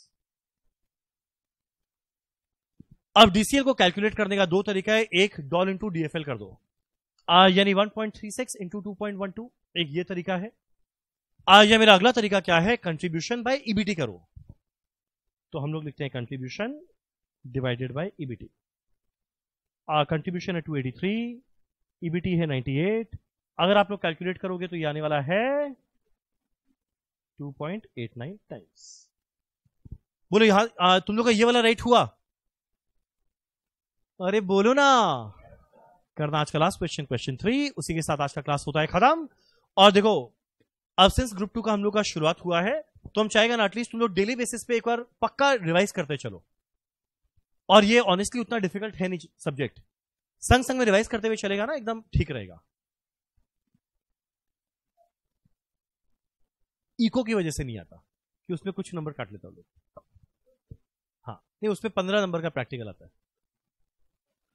आ, चलो स्टार्ट करते हैं हमारा आज का आखिरी क्वेश्चन क्वेश्चन नंबर थ्री आ, ये क्वेश्चन नंबर थ्री वैसे तो इजी है. अब देखो जिसमें टैक्स नहीं है ना तो वहाँ पे हम लोग इनकम स्टेटमेंट खाली ईबीटी तक बनाएँगे.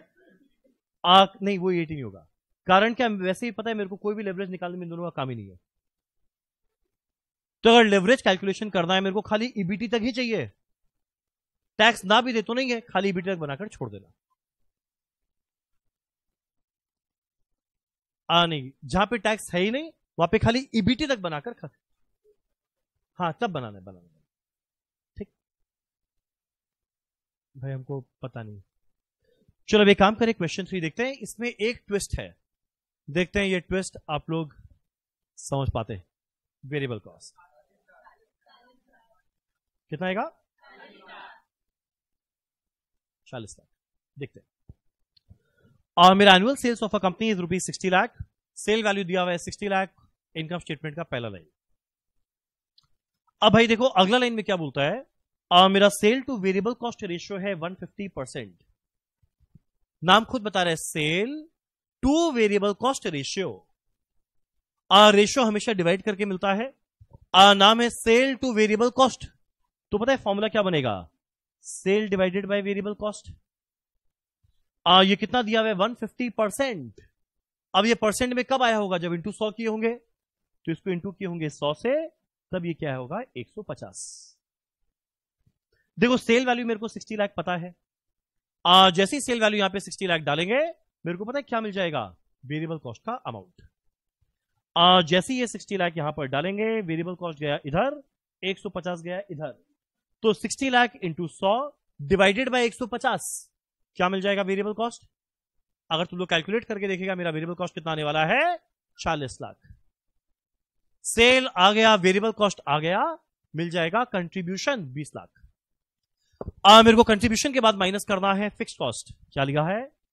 And fix cost other than interest यानी इंटरेस्ट के अलावा जो पहला फिक्स कॉस्ट है वो दिया हुआ है पाँच लाख।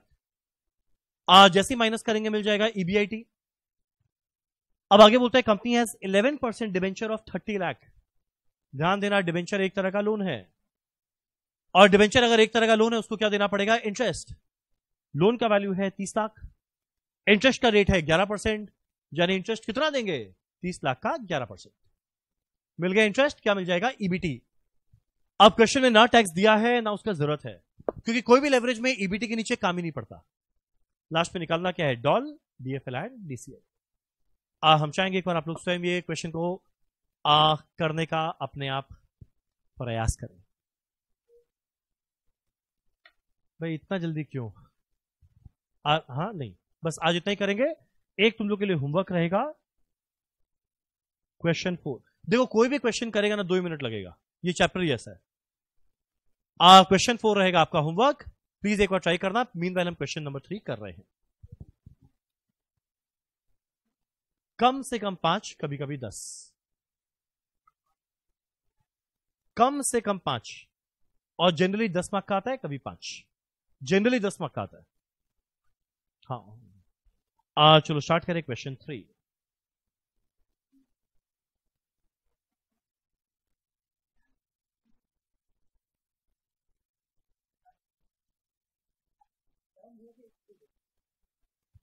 इसका डेली का नियम है पता नहीं।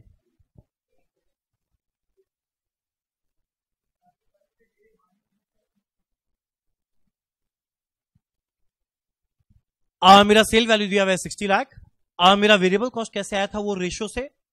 आ, ये वर्किंग नीचे दिखा देंगे। वैल्यू कितना आया था? चालीस लाख। कैसे आया? नीचे रूट में दिखा देंगे। ऊपर भी दिखा सकते हैं। तुम ब्रैकेट में दिखाना चाह रही है क्या? तो देखो sale by variable cost into सौ है 150 सेल वैल्यू 60 लाख है तो वेरिएबल कॉस्ट इधर जाएगा 150 इधर आएगा। तो 60 लाख इंटू सौ बाय 150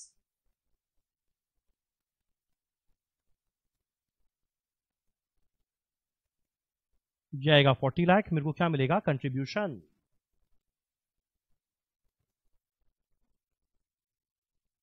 कंट्रीब्यूशन में माइनस करने वाले हैं फिक्स कॉस्ट देखो मेरा फिक्स कॉस्ट कितना दिया हुआ था? अदर देन इंटरेस्ट यानी इंटरेस्ट के अलावा जो मेरा फिक्स कॉस्ट है, वो कितना दिया हुआ है? पाँच लाख.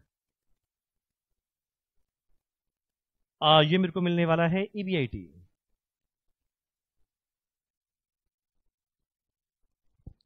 ईबीआईटी में माइनस करना है इंटरेस्ट इंटरेस्ट किसको देंगे? जिससे लोन लिए थे। डिबेंचर का एक और नाम लोन था। आ, लोन या डिबेंचर का वैल्यू कितना दिया हुआ है? थर्टी लाख इंटरेस्ट रेट है ग्यारह परसेंट। तो तीस लाख को देना है ग्यारह परसेंट। यानी कितना देने वाले हैं?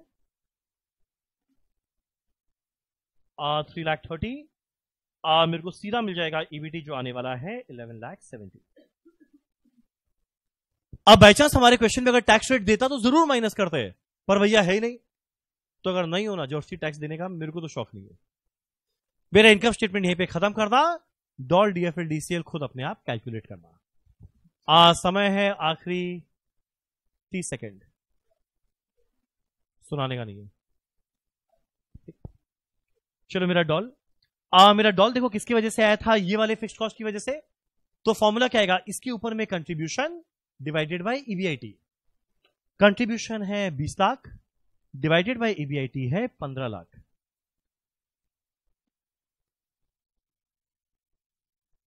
सुनो ना एक बार कोई कैलकुलेट किया तो बताओ ना।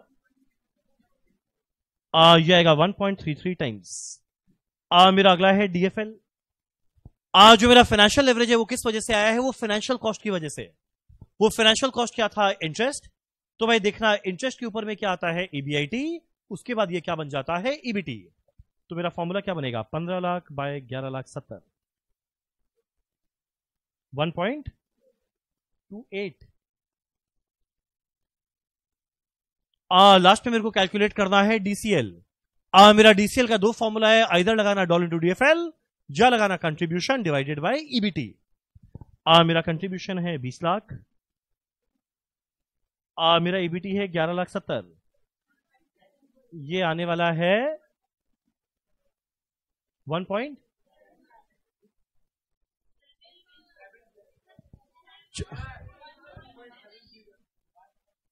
sorry one point seven one. चलो डन? चलो, इसी के साथ हमारा क्वेश्चन नंबर तीन होता है, खत्म। और एक आपका होमवर्क है। एक आपका होमवर्क है, क्वेश्चन नंबर चार। इसका तुम लोग ट्राई करना, अपने आप कैलकुलेट करने का, कि ये कितना आएगा? आंसर आएगा लास्ट में eight seven five zero try करना क्वेश्चन नंबर फोर अपने आप करने का। कल हम लोग मिलेंगे ठीक ग्यारह सुनो, पर तुम लोग एक प्रॉमिस है। आज जो पढ़े हैं, घर जाके एक बार रिवाइज करके आएगा। ठीक? वो इसी वीक में होगा, कल एक बार एफएम का ही क्लास है। चलो done thank you so much thank you so much thank you so much